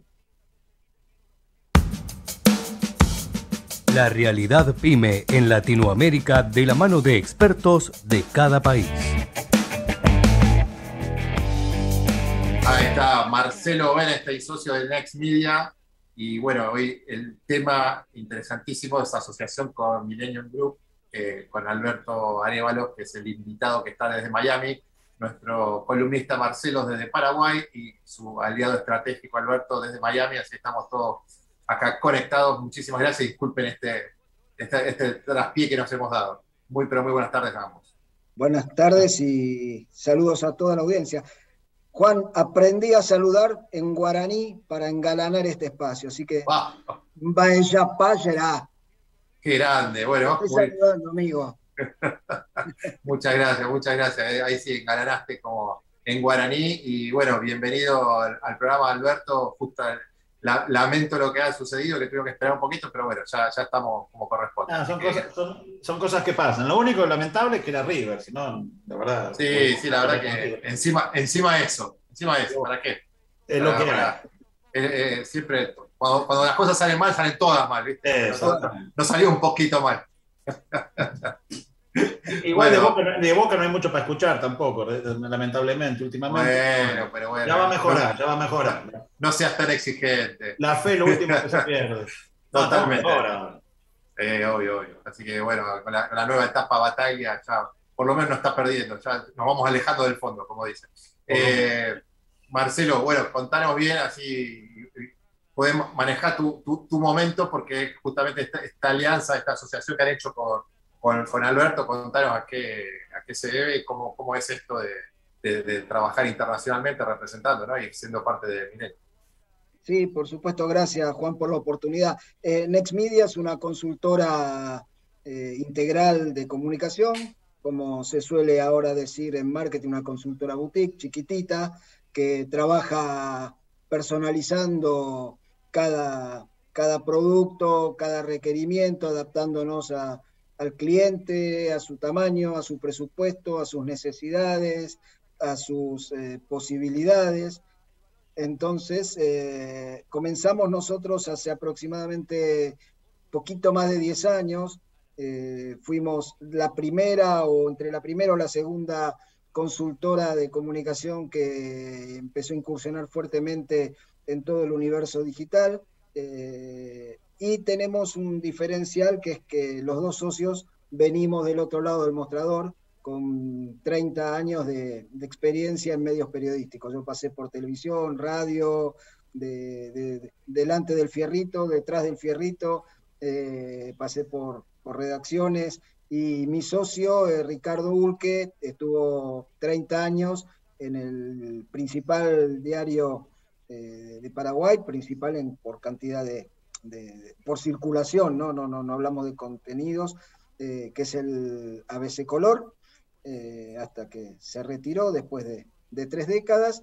Entonces, eh, tenemos la visión de los dos lados del mostrador. Y como Paraguay es un mercado chico, pero que se ha puesto en la vidriera de, de la región, hay muchas empresas que quieren explorar aquí, pero todavía no, no, no, no, no se aventuran a tener eh, su, su propio equipo grande acá de comunicación, entonces nos han llegado, trabajamos muchísimo con todo el tiempo para, para empresas que quieren tener em- eh, presencia en medios de Paraguay o quieren tener eh, algún tipo de consultoría o de asesoría. Y cuando llegó la, la oportunidad de, de, de Millennium Group, no, no lo pensamos demasiado. La verdad que bueno, Alberto va a corroborar, pero no fue un proceso que duró demasiado porque nosotros estamos más que entusiasmados de poder ser parte de la red de Millennium, por lo que representa Millennium, por la experiencia que tiene no solo Alberto, sino su socia y su equipo, que bueno, él lo va a contar mucho mejor que yo, pasaron por lugares eh, muy reconocidos, con responsabilidades muy altas y tienen una visión de, trabajar en forma regional que, a nosotros eh, nos falta o nos faltaba y que ahora eh, nos abre un montón de posibilidades. Hay muchas empresas en Paraguay con ganas de salir al mundo y la comunicación es un, déficit, especialmente la comunicación a nivel regional. Entonces, nosotros entendemos que estamos en condiciones de llenar esa necesidad y arrancamos hace poquito y estamos bastante entusiasmados con el eco que estamos recibiendo. Pero prefiero que a partir de ahora Alberto sea exprimido por vos y que él cuente No, no, más que exprimido, Millennium Group es eh, una agencia especializada en definición e implementación de estrategias de comunicación corporativa, relaciones públicas y marketing digital con presencia en Latinoamérica. Y ahí, y todo lo que Alberto me diga, pero eso hasta ahí es lo que tengo entendido. Sí, no, así es. Nosotros eh, hace 20 años que estamos en el mercado. Inicialmente eh, la agencia fue, fue fundada en Bogotá, en Colombia, ya hace 20 años, 21 años por eso se llama Millennium. Fue fundada por una mujer, una mujer muy emprendedora, que hoy es mi mujer. Este, pero yo la conocí siendo su cliente. Yo en aquella época era director de Google, eh, de comunicaciones de Google para América Latina, y esta era mi agencia en Colombia. Eh, muy buena, y tan, tan, tan buena que dos años después que yo entré a Google, el año yo entré en el 2007, en el 2009, tenía que lanzar YouTube en Perú y le pedí a Nancy, Nancy Sánchez, eh, que abriera la oficina en, Perú para darle servicio a Google y a, YouTube. Eh, y ese fue el comienzo de la internacionalización de la agencia, que en aquella época se llamaba Medios Millennium, pero que cambió su, nombre, su marca a Millennium Group. Eh, hace ya algunos años y bueno, yo después me asocié este, y desarrollé, digamos, nuestras oficinas en el Cono Sur. Ahora tenemos oficinas en Miami, en Guadalajara, en México, en Bogotá, en Lima, en Santiago, en Montevideo, Buenos Aires, en Córdoba y en San Pablo. Esas son nuestras oficinas propias. Y en algunos mercados actuamos eh, con alianzas, y en el caso de Paraguay, este, decidimos este, trabajar eh, con Next Media, porque lo que decía Marcelo al comienzo eh, es muy importante, el tipo de servicio que le queremos dar a los clientes, este, de, nosotros decimos que somos una boutique, pero con escala, podemos operar en cualquier país de la región, incluso en los Estados Unidos, pero con un servicio muy personalizado, de alto nivel, este, que realmente le trata de solucionar los problemas a, nuestros clientes. Entonces, ahí teníamos una, una, una, afinidad de entrada, tenemos la afinidad que también somos periodistas, yo fui 15 años periodista de agencias de noticias, fui corresponsal de EFE, fui corresponsal de Reuters este, durante 15 años y en varios países. Entonces teníamos la afinidad de la profesión, teníamos la afinidad del modelo de negocio, de cómo encaramos el negocio de las comunicaciones los dos somos hinchas de boca, entonces digamos que teníamos casi todos los elementos básicos para tener una buena relación este, de partners y, de intercambio de, tecnologías, de intercambio de know-how, este, intercambio de productos este, y poder a nuestros clientes este, llevar, de hecho ya estamos participando en licitaciones que incluyen eh, Paraguay, ya después te tengo que hablar de eso, Marcelo, porque eso me enteré hoy. Este, y, también darle la, oportunidad a Nexmedia de a sus clientes que están en Paraguay, que, necesitan este, operar a escala regional o subregional, lo puedan hacer con, con la estructura de, de Millennium Group.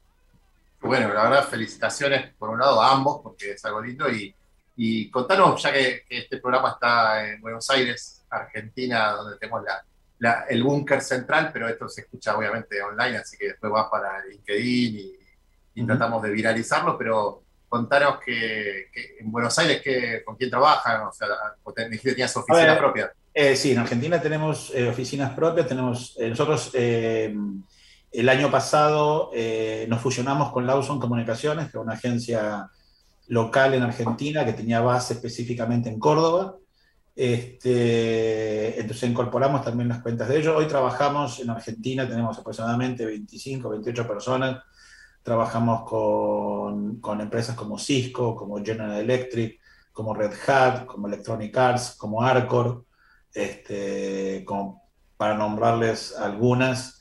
Eh, también trabajamos con pymes y también trabajamos con startups. De hecho, estamos lanzando ahora un producto específico para startups, este, porque tenemos esa capacidad. Podemos trabajar con empresas grandes como General Electric, pero podemos trabajar con una startup que está empezando y que quiere darse a conocer en el mercado. Siempre pudimos tener esa flexibilidad y esa capacidad de poder trabajar con grandes corporaciones, este, pero también tener la flexibilidad de poder trabajar con, con empresas mucho más chicas. ¿no? Este, entonces, esa, esa es, digamos, la, la, la, la, estructura que tenemos hoy en día en Argentina, cubrimos muy bien el, el, lo que se llama interior en Argentina, que me di cuenta que es una palabra que no se usa en ningún país, de hablar del interior, eso es una, una cosa muy porteña, ¿no? De, de, Buenos Aires es la puerta del país y el resto de lo que está dentro, ¿no? Este, y cuando uno habla del interior en otros países en América Latina, como el interior, todo el país es una sola cosa, pero bueno, este, el, el, la fusión con Laos el año pasado nos dio mucho alcance y llegada a, a las provincias de, de, la República Argentina.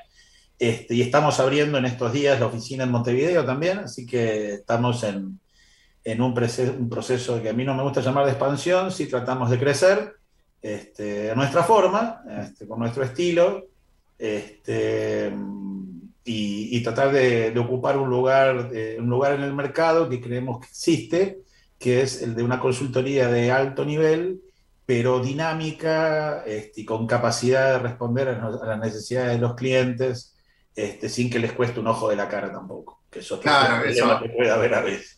No, y sobre todo para, como obviamente trabajas con el mundo pyme y, y startup, como bien comentabas anteriormente, una, obviamente las inversiones muchas veces no son las mismas que, como el caso dijiste General Electric, no es la misma inversión que puede tener una startup o una pyme donde cada, cada centavo cuesta y, y, sale del bolsillo del dueño, viste como el dueño de la pyme dice, eh, me, está, me, estoy ahogando, entonces bueno, eh, está muy bueno que puedan tener un servicio de calidad y de consultoría estratégica, como dijiste, y que, el, el, que, lo entienda como una inversión y que no vaya a tener un costo. Sí, en realidad, en, en, realidad eh, comprar servicios de comunicaciones es comprar como comprar cualquier servicio, ¿no? Y yo siempre eh, yo siempre digo, nosotros no competimos en precios. Si un cliente quiere trabajar con nosotros, nosotros vamos a negociar y vamos a tratar siempre de encontrar un punto de encuentro, pero no competimos en precio.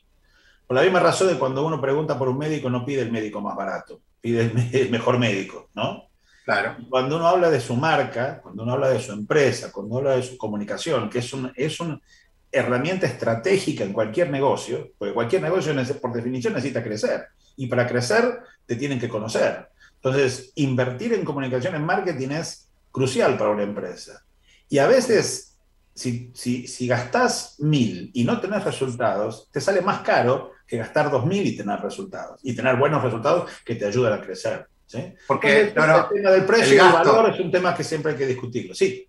Porque no, eso digo que esos mil eran gastos, no eran inversión. Los dos mil eran la inversión. Exactamente. Entonces, a veces, a veces, a nosotros nos pasa, participamos en licitaciones y hemos participado en licitaciones grandes y muy grandes, este, y a veces a escala regional, y nosotros no competimos, sí, ni nos vamos por muy encima, pero tampoco nos vamos muy, muy abajo, eh, porque creemos que eh, nosotros creemos además en tener a nuestra gente trabajando en blanco, este, en todos los países, este, tratando de pagar buenos sueldos, tratando de, de, pagar todas las prestaciones. Nosotros hoy en día estamos hace más de un año trabajando en home, home office y le pagamos la conexión de Internet a toda nuestra gente en toda la región. Este, entonces, eh, y a muchos de ellos les hemos mandado una silla ergonómica para que puedan trabajar cómodos en su casa. Entonces, todo eso tiene costo. Entonces, eh, como yo digo siempre, si yo necesito el mejor médico, lo tengo que pagar. Si necesito la mejor agencia de relaciones públicas, la tengo que pagar. Ahora, no vamos a irnos por arriba del mercado tampoco, este, pero tampoco vamos a competir en precio. Ahí nos ubicamos nosotros.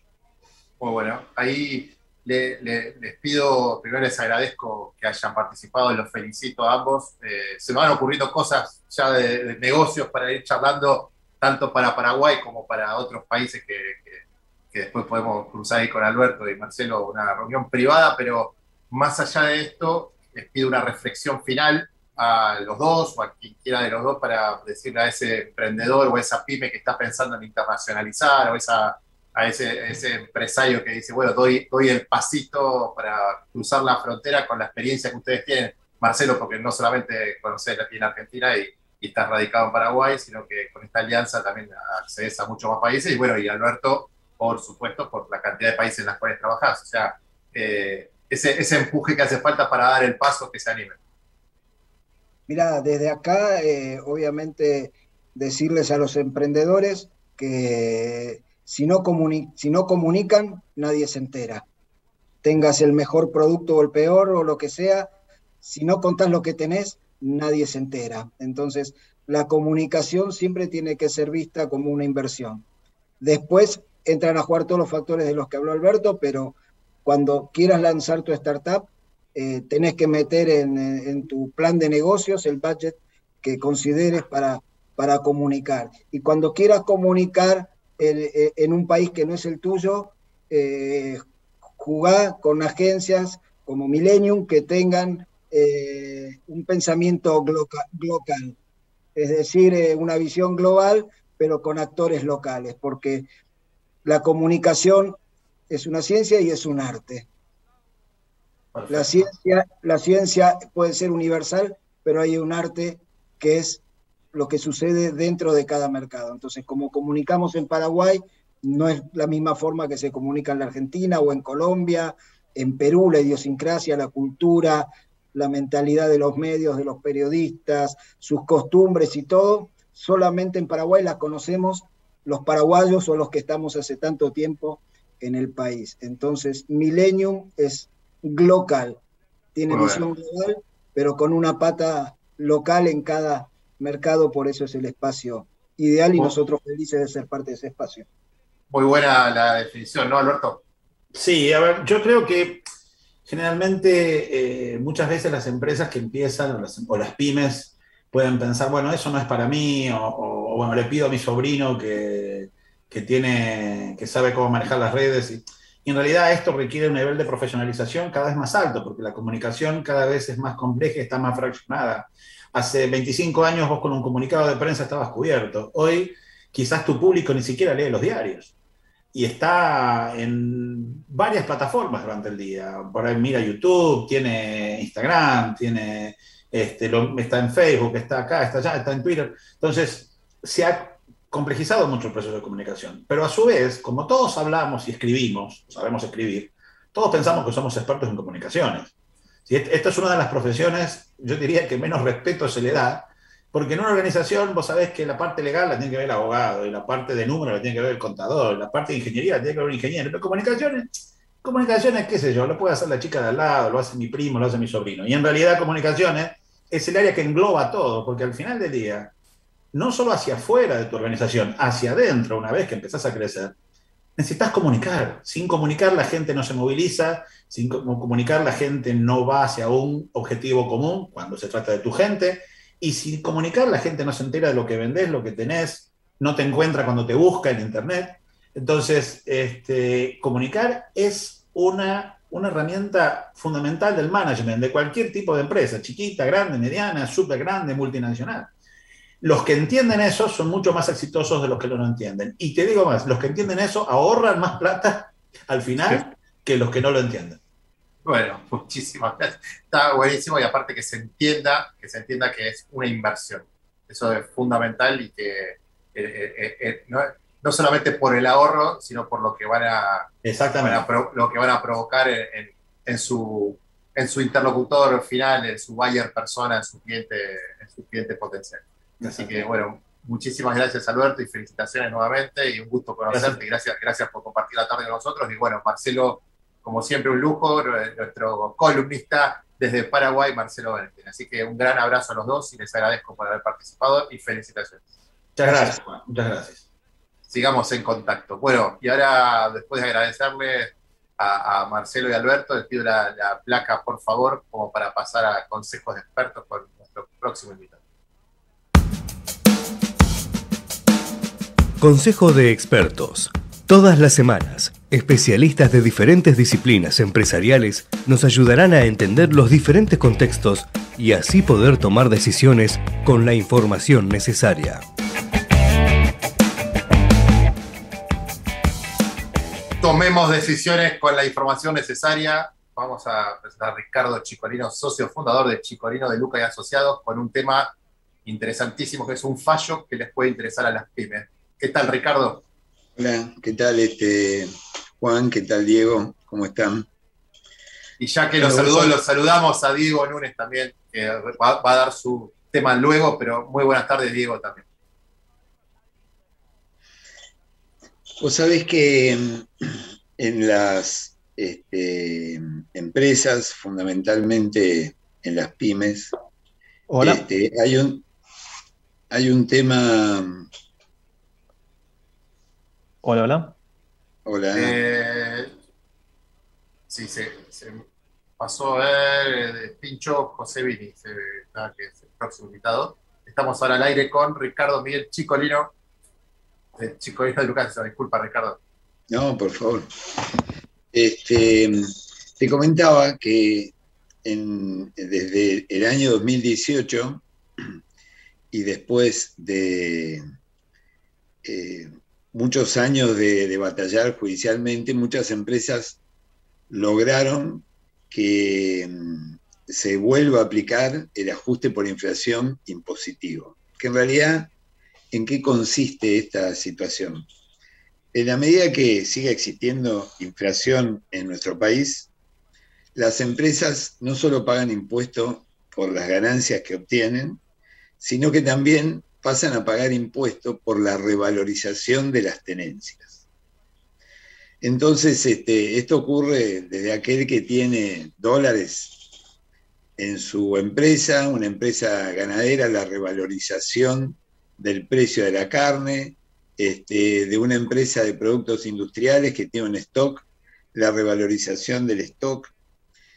Esto genera una ganancia que se la denomina técnicamente ganancia por tenencia, y que fíjate cuál es el tema. Es una ganancia que se produce porque hay inflación. Yo tengo en mi stock un par de zapatos que valen mil pesos, al cierre del ejercicio valen mil quinientos, me generó una ganancia de 500. Y lo vendí el par de zapatos, no lo vendí, pero gané 500. Y tengo que pagar impuestos por 500. Entonces, para evitar esa situación, las empresas recurrieron a la justicia y lograron que la justicia reimplante algo que estuvo vigente hasta antes de la convertibilidad, o sea, hasta antes del 2001, que es el ajuste por inflación impositivo, que precisamente contempla la situación de las empresas que tienen más activos monetarios que pasivos monetarios y que eso le produce una pérdida.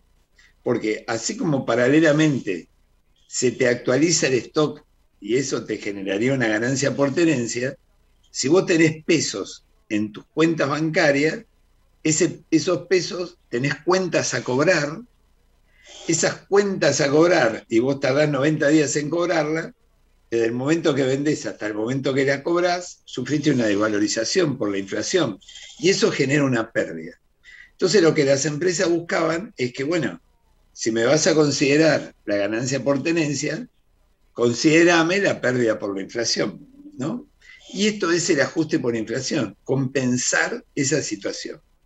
Bueno, después de mucho, de mucho este, batallar, se logró que la justicia reconociera que se aplique el ajuste por inflación. Pero obviamente ante eso vino la reacción. Salió una ley en, en el gobierno anterior que dijo volvemos a aplicar el ajuste por inflación. Pero ¿qué pasó? Claro, volver a aplicar el ajuste por inflación implica que las empresas van a pagar menos impuestos. Y vos sabés que admitir que las empresas paguen menos impuestos afecta el presupuesto. Entonces, a esta decisión judicial que hacía que las empresas pagaran menos impuestos porque pasaban a pagar en su justa medida, nada más que por eso, porque estaban pagando impuestos de más. ¿Qué hizo los distintos gobiernos de turno? Dijeron, bueno, bárbaro, implantamos el ajuste por inflación, pero la pérdida esa que genera la van a poder tomar un sexto por año en seis años. Entonces, vos imaginate que este, este logro, este, por fallos judiciales, este, bueno, otra vez se malversó el logro porque computar una pérdida que la puedo computar este año, solo puedo computar un sexto este año, un sexto el año que viene, un sexto el otro año, a su vez esa pérdida que la puedo computar de un sexto se deteriora por la inflación. ¿Está claro? Entonces, sí, sí, sí. Está clarísimo, clarísimo y el logro no, no es logro, o sea que Claro, bueno. siempre estás perdiendo. Otra vez los contribuyentes volvieron a la justicia y plantearon esta situación. Y la justicia empezó a reconocer esta situación y decir, no, este, que es un sexto. Y además, ese sexto, sin actualizar, otra vez es que las empresas paguen, no paguen el impuesto en su justa medida. ¿no? Entonces la jurisprudencia empezó a darle la razón a los contribuyentes. Esto es muy incipiente, pero digamos, este, es la lucha esta, ¿no? Este, que en realidad no tendría que suceder, porque este, los contribuyentes no tendrían que ir a la justicia, las, no- las normas tendrían que ser Claro, no, claras. si, si por cada cosa que tenés que hacer te que ir a la justicia, no terminamos más y, y son procesos de, de mucho tiempo hasta que puedes sacar un fallo eh, positivo que no, no, no corresponde. Sí, además, como es la justicia en nuestro país. Pero No, bueno, no. La, la noticia cuál es? Que la justicia comienza a reconocer que tomar la pérdida por inflación en seis sextos es inconstitucional, pero ¿por qué? Porque torna el impuesto confiscatorio. ¿no? Entonces, este, bueno, es una buena noticia. Siempre te quejas porque Ahora, mirá, hoy, buena noticia. hoy traes, una, hoy traes una buena noticia y le vamos a dar el pase a, eh, a- a Diego, que me parece que viene con un tema positivo. O sea, creo, creo, si no me equivoco, me puedo llegar a equivocar, pero, pero tengo entendido que hasta puede llegar a ser positivo. Así que quédate, Ricardo, en el consultorio, te agradezco muchísimo y, y le damos el pase a Diego Lunes, abogado del estudio Lunes y asociado con un tema que es envío de remesas con criptomonedas, que me, me suena un tema positivo. Sí, sí, ¿cómo andás? Bueno, eh, hoy con, con Ricardo nos ponemos de acuerdo, los dos mal o los dos bien. O sea, no, no, no Tal podemos dar uno buenas y una malas noticias. Eh, estuve, estoy escribiendo un poquito sobre el tema ahí en la, en el blog nuestro, en estudionunes.com.ar, lo, lo van a encontrar el artículo completo, haciendo un poquito un, eh, un rejunte de varias notas y varias, varios temas que fueron surgiendo respecto a la posibilidad de traer eh, dinero del exterior, muchas veces quizás en una cuenta de PayPal o, otras plataformas que, que muchas veces no están en Argentina, en donde uno puede tener crédito porque le pagaron algo afuera o incluso vendió o hizo algún negocio afuera. Eh, y obviamente si es, nosotros esa plata la facturamos y la cobramos como, como en cualquier país tradicional, desde una cuenta bancaria, en nuestro país eso entra al mercado libre único libre de cambios, que es el, se llama MULC, eh, nos lo liquidan al oficial y obviamente ahí perdemos un montón de dinero eh, por, por, por justamente esta, esta diferencia cambiaria con respecto a lo que es el, el dólar libre o el, o el blue o el contado con liquidación o como le quieran decir a los distintos tipos de cambios que tenemos. Entonces, bueno, ahí en el artículo repasamos un poquito eh, cómo serían las operaciones, eh, en donde la idea, o sea, se, lo- voy a resumir porque e- es bastante técnico y, y también eh, hay muchos intermediarios, lo que implica también que es un, un procedimiento que tiene sus costos adicionales, no es que lo puedo traer casi gratis, pero obviamente con la diferencia del tipo de cambio que tenemos hoy en día, quizás tenemos un costo de un 15% de las operaciones eh, de- ope- del monto de la operación para traer la plata y, cobrar en pesos entre todos los intermediarios, cuando la diferencia cambiaria a veces está, eh, hay un 100% de diferencia entre, entre un tipo de cambio y el otro, con lo cual sigue siendo positiva la cuenta. Eh, obviamente lo ideal sería tener algo directo en donde yo de la misma plataforma que funciona en Argentina opero en el exterior, eh, liquido algo y me pagan en pesos al tipo de cambio real que, que- que corresponde. Pero bueno, eso todavía no lo tenemos. Lo que se hace generalmente es que quien tiene, por ejemplo, un saldo en, en PayPal o cualquiera de estas plataformas o billeteras, eh, lo que hace es vendérselo, o sea, tiene que encontrar a alguien que esté dispuesto a comprarle ese crédito en PayPal. Esa otra persona siempre le hace una quita y, le paga a través de eh, alguna billetera virtual o plataforma con criptomonedas alguna de las operadoras de criptomonedas que, que sí funcionan en Argentina y ya tienen CB corta. Esa plataforma lo que permite es que con esas criptomonedas o pueden ser estables o, Bitcoin o, la que sea, se pueden vender a través de la misma plataforma por la cual se hace esta operación y justamente esta plataforma que tiene CB corta puede enviarnos el dinero a una cuenta eh, en pesos que podemos tener acá en Argentina. Entonces, eh, es, es- una pequeña actualización de- de una herramienta. No es quizás lo, lo- lo mismo que pasa con Chivo, que, que es la, la wallet que, que puso el gobierno de El Salvador, ya que Bitcoin es de, eh, moneda de curso legal, en donde permite el envío de remesas mucho más rápido y dentro de la misma plataforma al exterior, que es una de las grandes ventajas que trajo para, para la población de El Salvador, que justamente tiene mucha gente expatriada en Estados Unidos que quiere mandar a veces plata a la familia y que es una solución óptima, en realidad, por lo menos por lo que se ve de las presentaciones. Eh, empieza a operar eh, la semana que viene, no, perdón, esta semana, el primero de septiembre. Eh, pero bueno, digo, es, es una novedad positiva, sobre todo para países que tienen una brecha cambiaria tan grande. ¿Y y conoces alguno de esos países con brecha cambiaria grande? No, No, no, por eso sí, es nosotros y nosotros. O sea, el, el tipo. eh, eh, no conozco ninguno que tenga tantos tipos de cambio como nosotros. O sea, eso cuando, le explicás a, uno- a un europeo le decís, no, no, bueno, pero ¿qué tipo de cambio? Y le decís, no, bueno, pero hay uno solo, hay, hay dos, es compra y venta. No, no, yo tengo compra, venta, mayorista, minorista, blue, contado con liqui, dólar cripto. Y Sí. cuando le empezás a desglosar todo, todo el, el abanico de, de- de posibilidades, No, no, no, entienden cómo podemos vivir. No, no, aparte el otro día salió, estábamos, hoy justamente tuvimos un tema técnico, pero estábamos hablando con nuestra columnista de Uruguay, que eh, la semana pasada dijeron que en, algunas casas de cambio tomaban para un dólar en Uruguay el peso argentino 800, o sea, 800 pesos argentinos, un dólar. O sea que un litro de eso, ¿viste? Cuando decís, no, obviamente nadie iría con pesos a comprar un dólar ahí porque era, es imposible, pero viste que mucha gente a veces que no le alcanza la tarjeta, todo y lleva pesos para hacer cambio allá, o sea, un, un, un dólar, 800 pesos argentinos, era, era- terrible la... eh, bueno, obviamente para, para cuando llega el verano todas estas cosas cambian y la gente obviamente tiene que, que- que consumir con tarjeta porque si no no puedes ir directamente, pero es una locura como, como estamos. Pero bueno, eh, así, así es lo nuestro y vamos a tener que ir eh, cerrando y les invito a que se queden eh, al consultorio que viene después de la tanda, pero la verdad que estoy sorprendido que tanto Ricardo como Diego trajeron buenas noticias, así que no, no podemos hacer el chiste hoy, es lamentable, pero bueno, es así. Es el, programa blanco, el programa clean, el programa de angelitos buenos, el día, el día. Muchísimas, pero muchísimas gracias Diego, bueno, y Ricardo también, y bueno, les pido que vayamos a la tanda, así volvemos con todo el consultorio PYME del día. Dale, nos quedamos.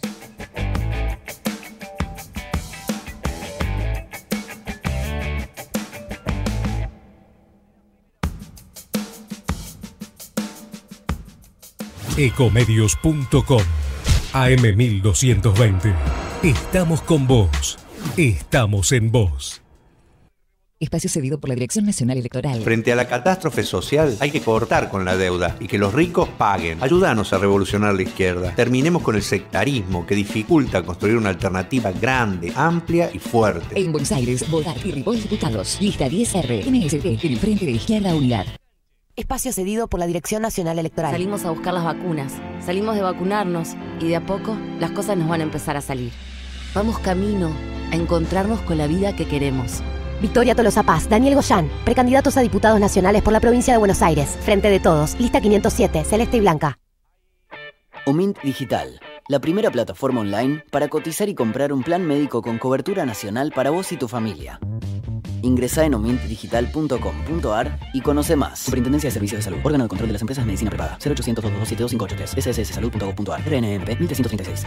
Quiero felicitar a los chicos de Volkswagen por la iniciativa y por ser originales. Imagínate que te vas a una agencia de Volkswagen y decís, me voy a comprar un auto nuevo. Elegís el Taos, el Nibus o el T-Cross, ¿no? Uno de los SOPs de Volkswagen. Bueno, vas y ves que te encontrás con un auto totalmente camuflado. Sí, amarillo y azul, por ejemplo, el Blue Jewel o si no un gris Dark Shadow, ¿no? Como se denominan estos colores, estos camuflajes que tienen estos autos. Bueno, esta idea fue creada por José Pavón, el jefe de diseño de la región y su equipo de creadores, donde la idea es romper un poquito el molde y decir, vení, si te vas a comprar un Volkswagen, comprate algo diferente, algo que llame la atención y algo que pegue con la onda de los autos de la marca. Bueno, nada, dicen que el lanzamiento mundial va a ser el 13 de octubre y sin embargo ya se presentó acá, en la planta de Pacheco, los nuevos Volkswagen camuflados, ¿eh? que la verdad que están muy buenos. Son los simples, los que vos conocés, pero en este caso camuflados. Omint Digital, la primera plataforma online para cotizar y comprar un plan médico con cobertura nacional para vos y tu familia. Ingresa en omintdigital.com.ar y conoce más. Superintendencia de Servicios de Salud. Órgano de control de las empresas de medicina privada. 0800 227 2583 sssalud.gov.ar. RNMP 1336.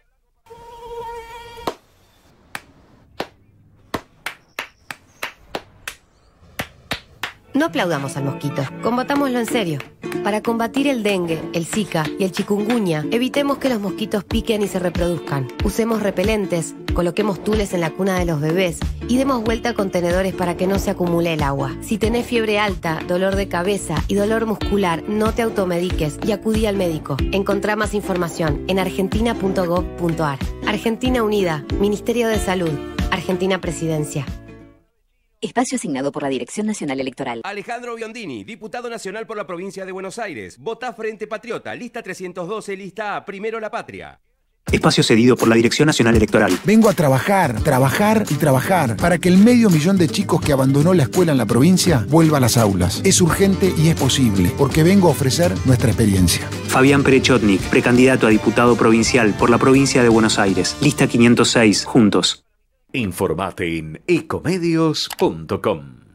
Seguinos en TikTok, arroba ecomedios 1220. Consultorio Pyme, donde tratamos los puntos de dolor de todos los pymes y emprendedores de Argentina y la región. Ahí estamos, arrancamos el consultorio con nuestro último invitado del día y bueno, les agradezco a, a Ricardo Chicolina y a Diego Núñez, como siempre, que se queden para él mismo. Y vamos a presentar a José Vini, cofundador y responsable de producción de Bien House. ¿Cómo te va, José? Buenas tardes. ¿Cómo anda Juan? Bueno, ¿cómo anda todo el equipo? Muchísimas gracias por la invitación y bueno, por el tiempo que nos dan acá. No, por favor. Bueno, José con sus socios, que es Juan Caballo y Manuel Tagle, y Machu Pereira, cuatro amigos de toda la vida que se animaron a- al sueño propio por de tener la, la- la cervecería, ¿no? Exacto, tal cual. Es así el, el cliché del sueño. Claro, Este no fue el barcito en la playa, sino fue la cervecería. ¿Dónde? Está en Palermo, ¿no? Eh, No, no, estamos en la fábrica, está en Martínez y Ah, también Martínez, hay un, perdón. hay un bar ahí, ahí mismo en la fábrica. Ah, buenísimo. Bueno, está, eh, está en Martínez, perdón, me equivoqué, no era, no era Palermo. No pasa. Puede. Pero, pero bueno, contame, contame cómo, cómo arranca este, este sueño, contame un poco de ustedes antes de, de pasar a la parte de consultorio donde veremos eh, el tema Dale. de marketing, tema legal, tema todo así, o estrategia fiscal. Pero contanos un poquito cómo, cómo arranca todo esto, este sueño ¿no? De, de tener y con, con amigos. Que bueno, Sí, arrancamos hace 11 años a hacer cerveza de, de manera, digamos, solamente eh, homebrewer, como dicen, ¿no? Un- como un pasatiempo, eh, por una inquietud, ¿no? Que la verdad que nos, nos encanta la birra, somos cuatro amigos desde primer grado de colegio, hicimos prácticamente todo el colegio juntos, vacaciones, todo. Y bueno, hace 11 años eh, empecé con uno de mis socios, que es, es Machu, que hace unos meses que no lo veía, y nos juntamos ahí un- una tarde y, y me dice, che, estoy con ganas de hacer birra. Y yo justo ese día, eh, a la mañana, eh, en internet me, me descargué un instructivo para hacer cerveza, que era algo que me estaba dando vueltas hace rato, y digo, che, tengo un PDF. ya está, hagamos cerveza. Y así a los dos días estábamos cocinando. Fuimos a, ahí a la calle San Juan a comprar cosas en el insumo, viste, en gastronómico, una olla, un, un par, de, eh, un par de cosas y empezamos con lo básico, ¿sí? Y, nos emocionó. desde la primera vez que lo hicimos nos pareció increíble la, la transformación de, la cebada en, cerveza. Todavía es algo que me parece espectacular. Eh, y así estuvimos durante más o menos tres años. Primero en, la cocina de lo de mi vieja, después fuimos eh, a su casa, después se sumaron dos socios, Juan y Manu, que cada vez que cocinábamos hacíamos asado, pizza, ¿viste? se juntaba gente, como la, cocción dura ocho horas más o menos, después tenés que esperar 15 días que fermente, después envasábamos otros 15 días, pero bueno, era más, más un evento social y una excusa para juntarnos que, el producto en sí, que a veces era bueno, pero generalmente era malísimo. Eh, pero bueno, era, era, la emoción de, esa transformación eh, de, ¿viste? alquímica. Y, bueno, así pasamos tres años eh, hasta que se juntaron, vinieron Juan y Manu y nos dijeron, che, está buenísimo esto, nos re divertimos, pero ¿qué pasa si, hacemos todo lo posible para, hacer una buena birra, ¿no? Y, y, ¿viste? dejen de dar excusa porque esta le faltó tiempo, esta le sobró, esta está filtrada, esta no. Y nos pareció muy buena idea, ¿no? Entonces dijimos, bueno, ¿qué tenemos que hacer? Eh, primero necesitamos un lugar porque ya estábamos en, gira de, cocinas y, ya no, nos querían rajar todos. Entonces eh, los viejos de Juan nos prestaron un garage ahí en, en San Isidro, en su casa, eh, y después dijimos, bien, tenemos que estudiar porque no sabemos nada. Empezamos a hacer un curso de elaboración de cerveza en el centro de cata de cerveza, en, queda en San Telmo, que lo da Martín Boan. Y dijimos, bueno, perfecto, necesitamos plata también para comprar, eh, digamos, los, eh, las, ollas, el inoxidable, todo, los, todo el material que se necesita para, para hacer las cosas bien. Y esto fue a fines de 2013. Entonces estuvimos desde 2011 hasta 2013 jovistas. Eh, empezamos a armar nuestra pequeña fábrica con el objetivo solamente de hacer la mejor guerra posible. Y entonces cursábamos un martes, al miércoles siguiente cocinábamos o sábado, todos con los trabajos, ¿no? Todos laburábamos en distintas cosas. Eh, iba mejorando la cerveza, mejoraba, mejoraba, mejoraba, nos íbamos motivando, ¿no? de, de lo que estaba pasando. Y a mitad de año hay una reestructuración en mi trabajo eh, entonces les digo, chicos, es el momento, ¿no? O sea, yo tengo plata como para vivir hasta fin de año, con lo mínimo, pero si, les parece, me, dedico tiempo completo a esto y vemos qué pasa. Y desde ahí en adelante, eh, con bueno, una persona a tiempo completo, de repente empezamos a hacer más cerveza de mejor calidad, conseguir clientes. Y bueno, crecimos, la verdad que, muy rápido, siempre con, con, la mira de hacer la mejor birra posible. Eh, ahora somos 30 personas trabajando, eh, tenemos una fábrica de 1000 metros cuadrados, hacemos más o menos 150 mil litros por mes y vendemos como a 350 bares y también estamos en, supermercados, ¿no? en, Jumbo y, Disco y ahora en breve en Carrefour y, y Coto. También estamos produciendo cerveza en España y en breve queremos empezar a producir también en Estados Unidos. Así que bueno, realmente el, sueño, ¿no? Y con, lo, lindo de trabajar con amigos. Sí, sí, aparte, esto es lo, que están haciendo eh, internacional, o sea, pusieron, eh, hicieron una alianza con alguien, un partner con alguien, tipo franquicia, algo así, o es, uno de ustedes eh, viajó y se fue a instalar allá también, cocina.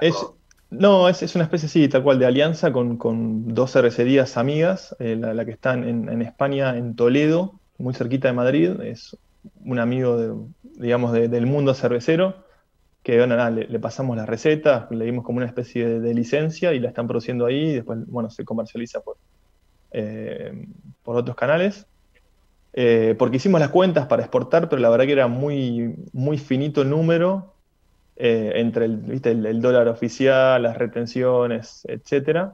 Y además, la verdad que la cerveza es 95% agua, entonces es también desde el, lado de, la ecología es mucho más sensato producir la birra in situ. Eh, y además llega más fresca, ¿no? etcétera. Tiene muchas ventajas producirla localmente. que es en realidad después lo que hacen las cervecerías grandes, ¿no? que hacen fábricas cerca de las, de las zonas de, consumo. Claro. Eh, así que bueno, copiándonos de, también de estrategias de, las grandes cervecerías que por algo son tan grandes. No, bueno, y, y ahora como eh, en la pandemia vendieron muchísimo online, digamos que, que, eso fue, ya que no se les podía vender en bares porque no abrían y por todo lo que lo que ya sabemos de las restricciones, los aforos, toda la problemática, ustedes no se quedaron quietos y de hecho la, última inversión que hicieron, hicieron una inversión importante para aumentar 10 veces más los niveles de producción, ¿no?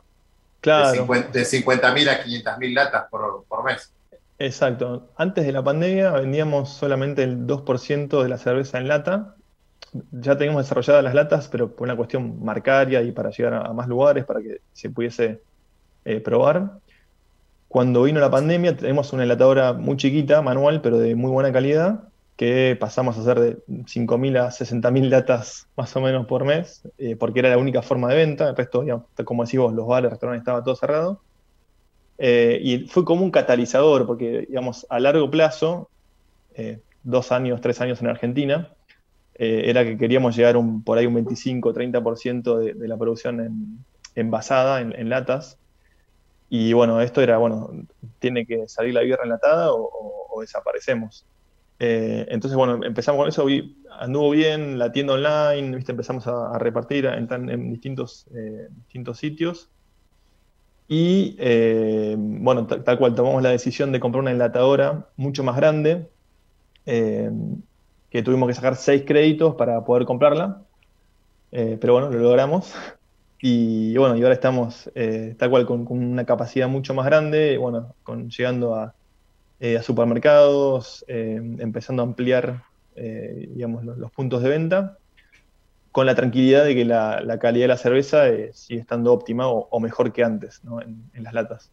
El tema del enlatado contra la botella tradicional de, la, de las artesanales, viste que siempre el tema del artesanal viene por la botella, si es más rara, mejor, pero tiene una, limitante, ¿no? El, tema del enlatado usted los benefició. Sí, totalmente. Primero que, digamos, hay hace varios años, por lo menos 5 o 7, ya las latas van ganando espacio.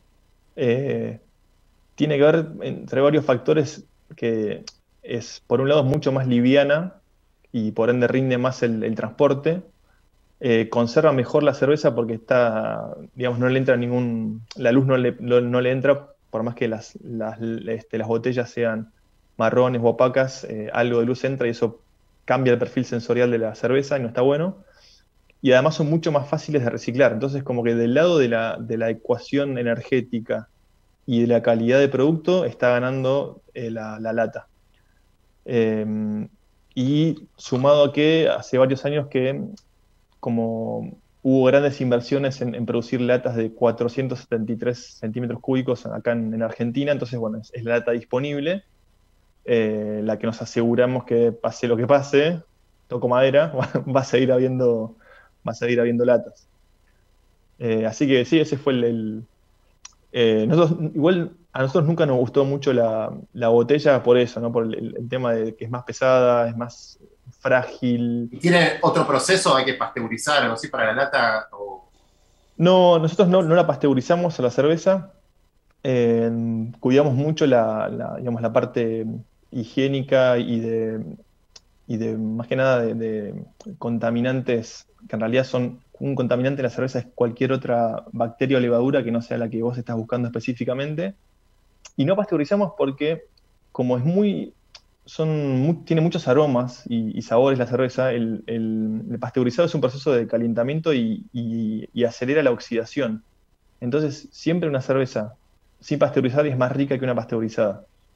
Entonces, como además tiene mucho alcohol, entre comillas, no tiene más alcohol que las, en, promedio que la cerveza industrial. La cerveza industrial tiene 4,5, 5, la nuestra tiene 5, 6, 7, hasta 12% tiene muchísimo más lúpulo. Y el lúpulo es un conservante natural, que de hecho se empezó a usar en la Edad Media justamente por eso. Se dieron cuenta que agregándole mm, esta, esta, esta flor, la cerveza duraba muchísimo más.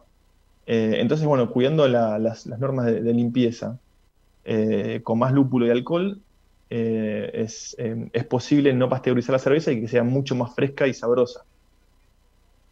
Perfecto. Ahí estaba averiguando quién era la otra persona que conocía, si ya mandé unos mensajes, está, mi, socio me está escribiendo, escuchando el programa, me dice que bueno, y le digo, después comentame quién es la persona que conoces, así después eh, fuera del aire te lo cuento.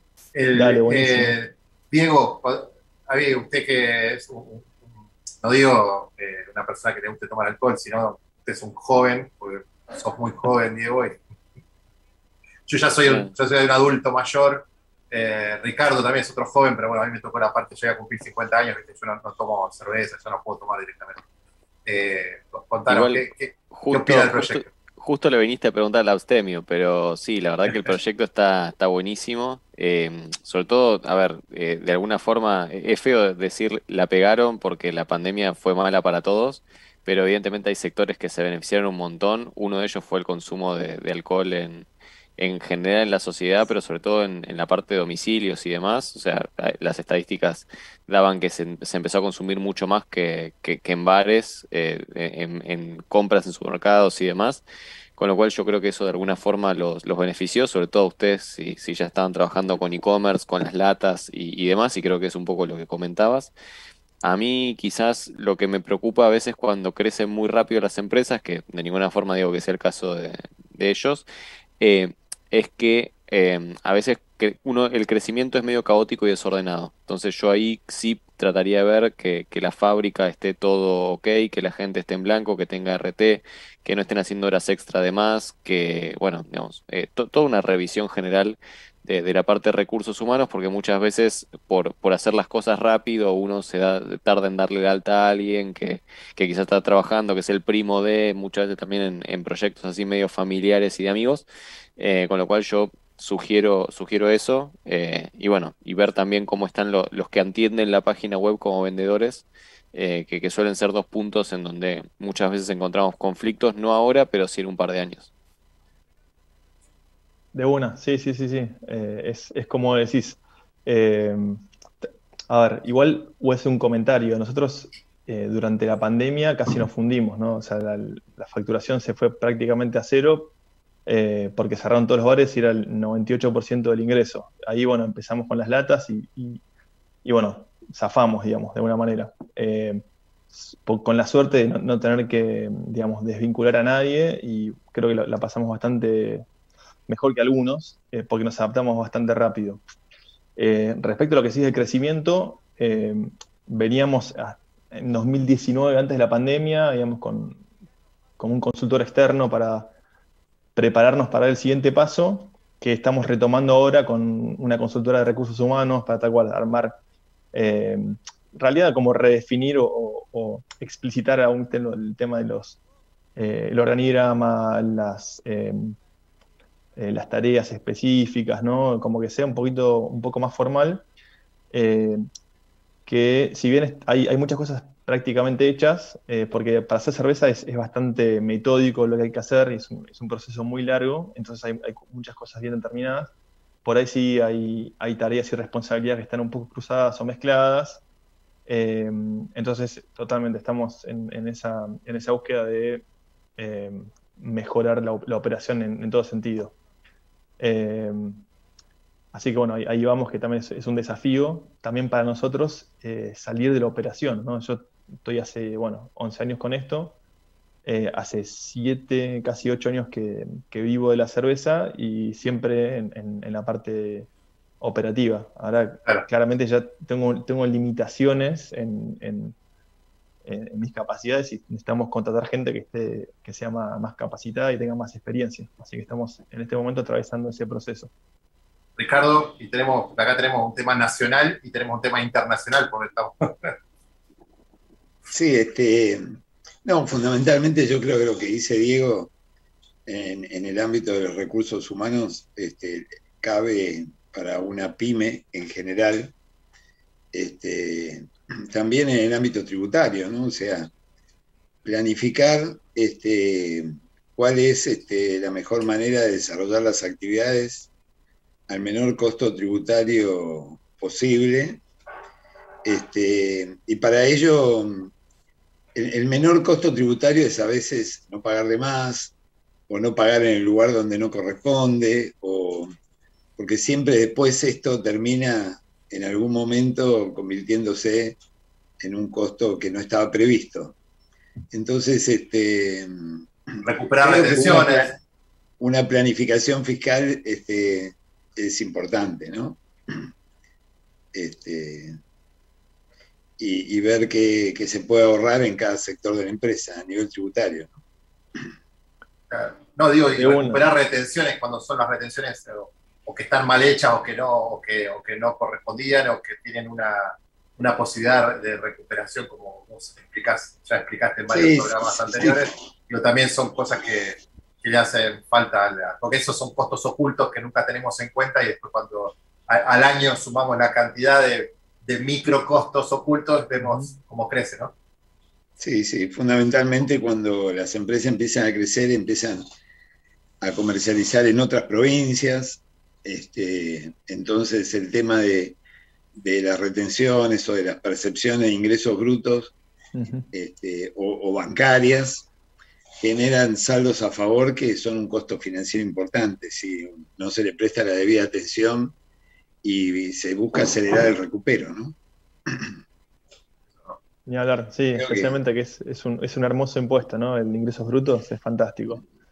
No, Este, aparte, aparte de eso, el, el tema es que comercialmente muchas veces nos, va, generalmente nos enfocamos las pymes y los empresarios a la, a la a la venta, votan mucho en la producción, pero decir, bueno, nosotros necesitamos vender y, y crecer. Y cuando te, te enfocas en la venta, eh, según cómo tengas armado tu proceso, vendés todo lo que podés, pero después viene, bueno, la venta digital, eh, como bien decía, pues tenés una parte de venta digital, la otra parte con lo de, la- lo de España, la otra parte de los supermercados, que obviamente el pricing es diferente, los costos eh, impactan de otra manera, los volúmenes que se manejan son diferentes y ahí llega un momento que, que decís, bueno, pero le ve- vendí digital a diferentes provincias y hay percepciones que te toman de acuerdo a la provincia que le vendés y tal vez no lo sabés, vos estás pensando, porque impacta la venta desde Martínez, por ejemplo, pero le vendiste a alguien en otra, no sé si entregás en el interior del país o, o, o le vendés a todo el país. Entonces, bueno, ahí es cuando empieza a impactar negativamente de determinadas percepciones y, y esto va dentro de la estrategia fiscal. Yo digo, pues ya lo he aprendido de todos los, los programas Bueno. que hemos hablado con, con- con Ricardo y con Diego, que, no, Estamos, que nos van a punto enseñar. de, estamos a punto de asociarnos con Juan. En, cualquier momento, ¿no? en cualquier momento ya ponemos, no ponemos procesos de ventas, sino vamos a poner eh, eh, estrategia fiscal y después procesos comerciales y marketing. Eh, pero bueno, la verdad que José es buenísimo lo, lo que están haciendo y lo que están creciendo y es genial. No, Diego, la verdad que vos que estás en FECOBA joven, ¿qué, qué edad tienen ustedes? eh, 34, 35. Sí, entran todos. Entran Ahí, todos. ahí, ahí tenemos que, tener- tenés que entrar en FECOBA joven con el proyecto ahí de, de la mano de Diego, que ahora después nos quedamos un segundo en privado y nos despedimos, pero después Claro. para cuando cerremos el programa, pero la verdad que, que está buenísimo porque digo, la, la- la forma de, de crecer es esa, networking positivo como hacemos en este programa y, y el consultorio es eso, ¿tenés algún punto de dolor, más allá de que acabas de, expresar la, llamarlo entre comillas, crisis de crecimiento, de estructura, de que necesitas para la parte operativa y producción eh, gente más, como decías vos, más capacitada o que ustedes también abocarse a la estrategia de crecimiento, a la internacionalización entre socios, porque si no puede, a veces no puede estar en todos lados, pero digo, eh, algún otro punto de dolor que podamos ayudar o, o lo que estuvimos hablando impacta positivamente igual. De una. Sí, sí, sí, tal cual, tal cual. Son crisis eh, de, de crecimiento, pero están buenas. La verdad que eh, creemos que ya pasó lo peor, así que estamos preparándonos eh, para, bueno, para que venga la, la mejor parte ahora y especialmente que es el verano, ¿no? Que en, en breve llega y es, es el, el, el punto máximo de, de- de venta. Así Claro, que temporada, temporada alta, Sí, temporada de conejos, como, como decimos. Así que eh, buenísimo. Bueno, José, yo te agradezco mucho, mucho que hayas participado en Generadores TV. Eh, espero que pronto tengamos otra nota donde nos estés contando de lo- del proyecto de España y de otros países que, están que están creciendo o si lanzaron otras cosas acá y bueno, y, y- y algún premio que participen en FECOBA Joven, ¿por qué no? Así que muchísimas gracias, José, muchísimas gracias, Diego Núñez, Estudio Núñez Asociado, Ricardo Chicolino, eh, muchísimas gracias como siempre a nuestro panel de expertos y bueno, ahora quédense, nos despedimos en privado, pero así cortamos el programa. Eh, Les agradezco a los tres por estar con nosotros, a Martín de Estefano, nuestro productor, a Gerardo de la operación, a los Marbazos que nos abren las puertas de Ecomedios, a mi familia que siempre me acompaña en estas locuras que hacemos. Hasta cualquier hora como siempre y los jueves los, veo en, en, el LinkedIn Live mano a mano como en casa con el CEO de Valenti, a quien seguramente él no se va a autoenviar la picada, o tal vez sí la tenga, pero a mí me la manda seguro, así que eso es lo, importante. Muchísimas gracias, nos vemos y nos escuchamos en Canales TV el próximo lunes de 18 a 20 horas en Ecomedios AM 12B. Muchas gracias.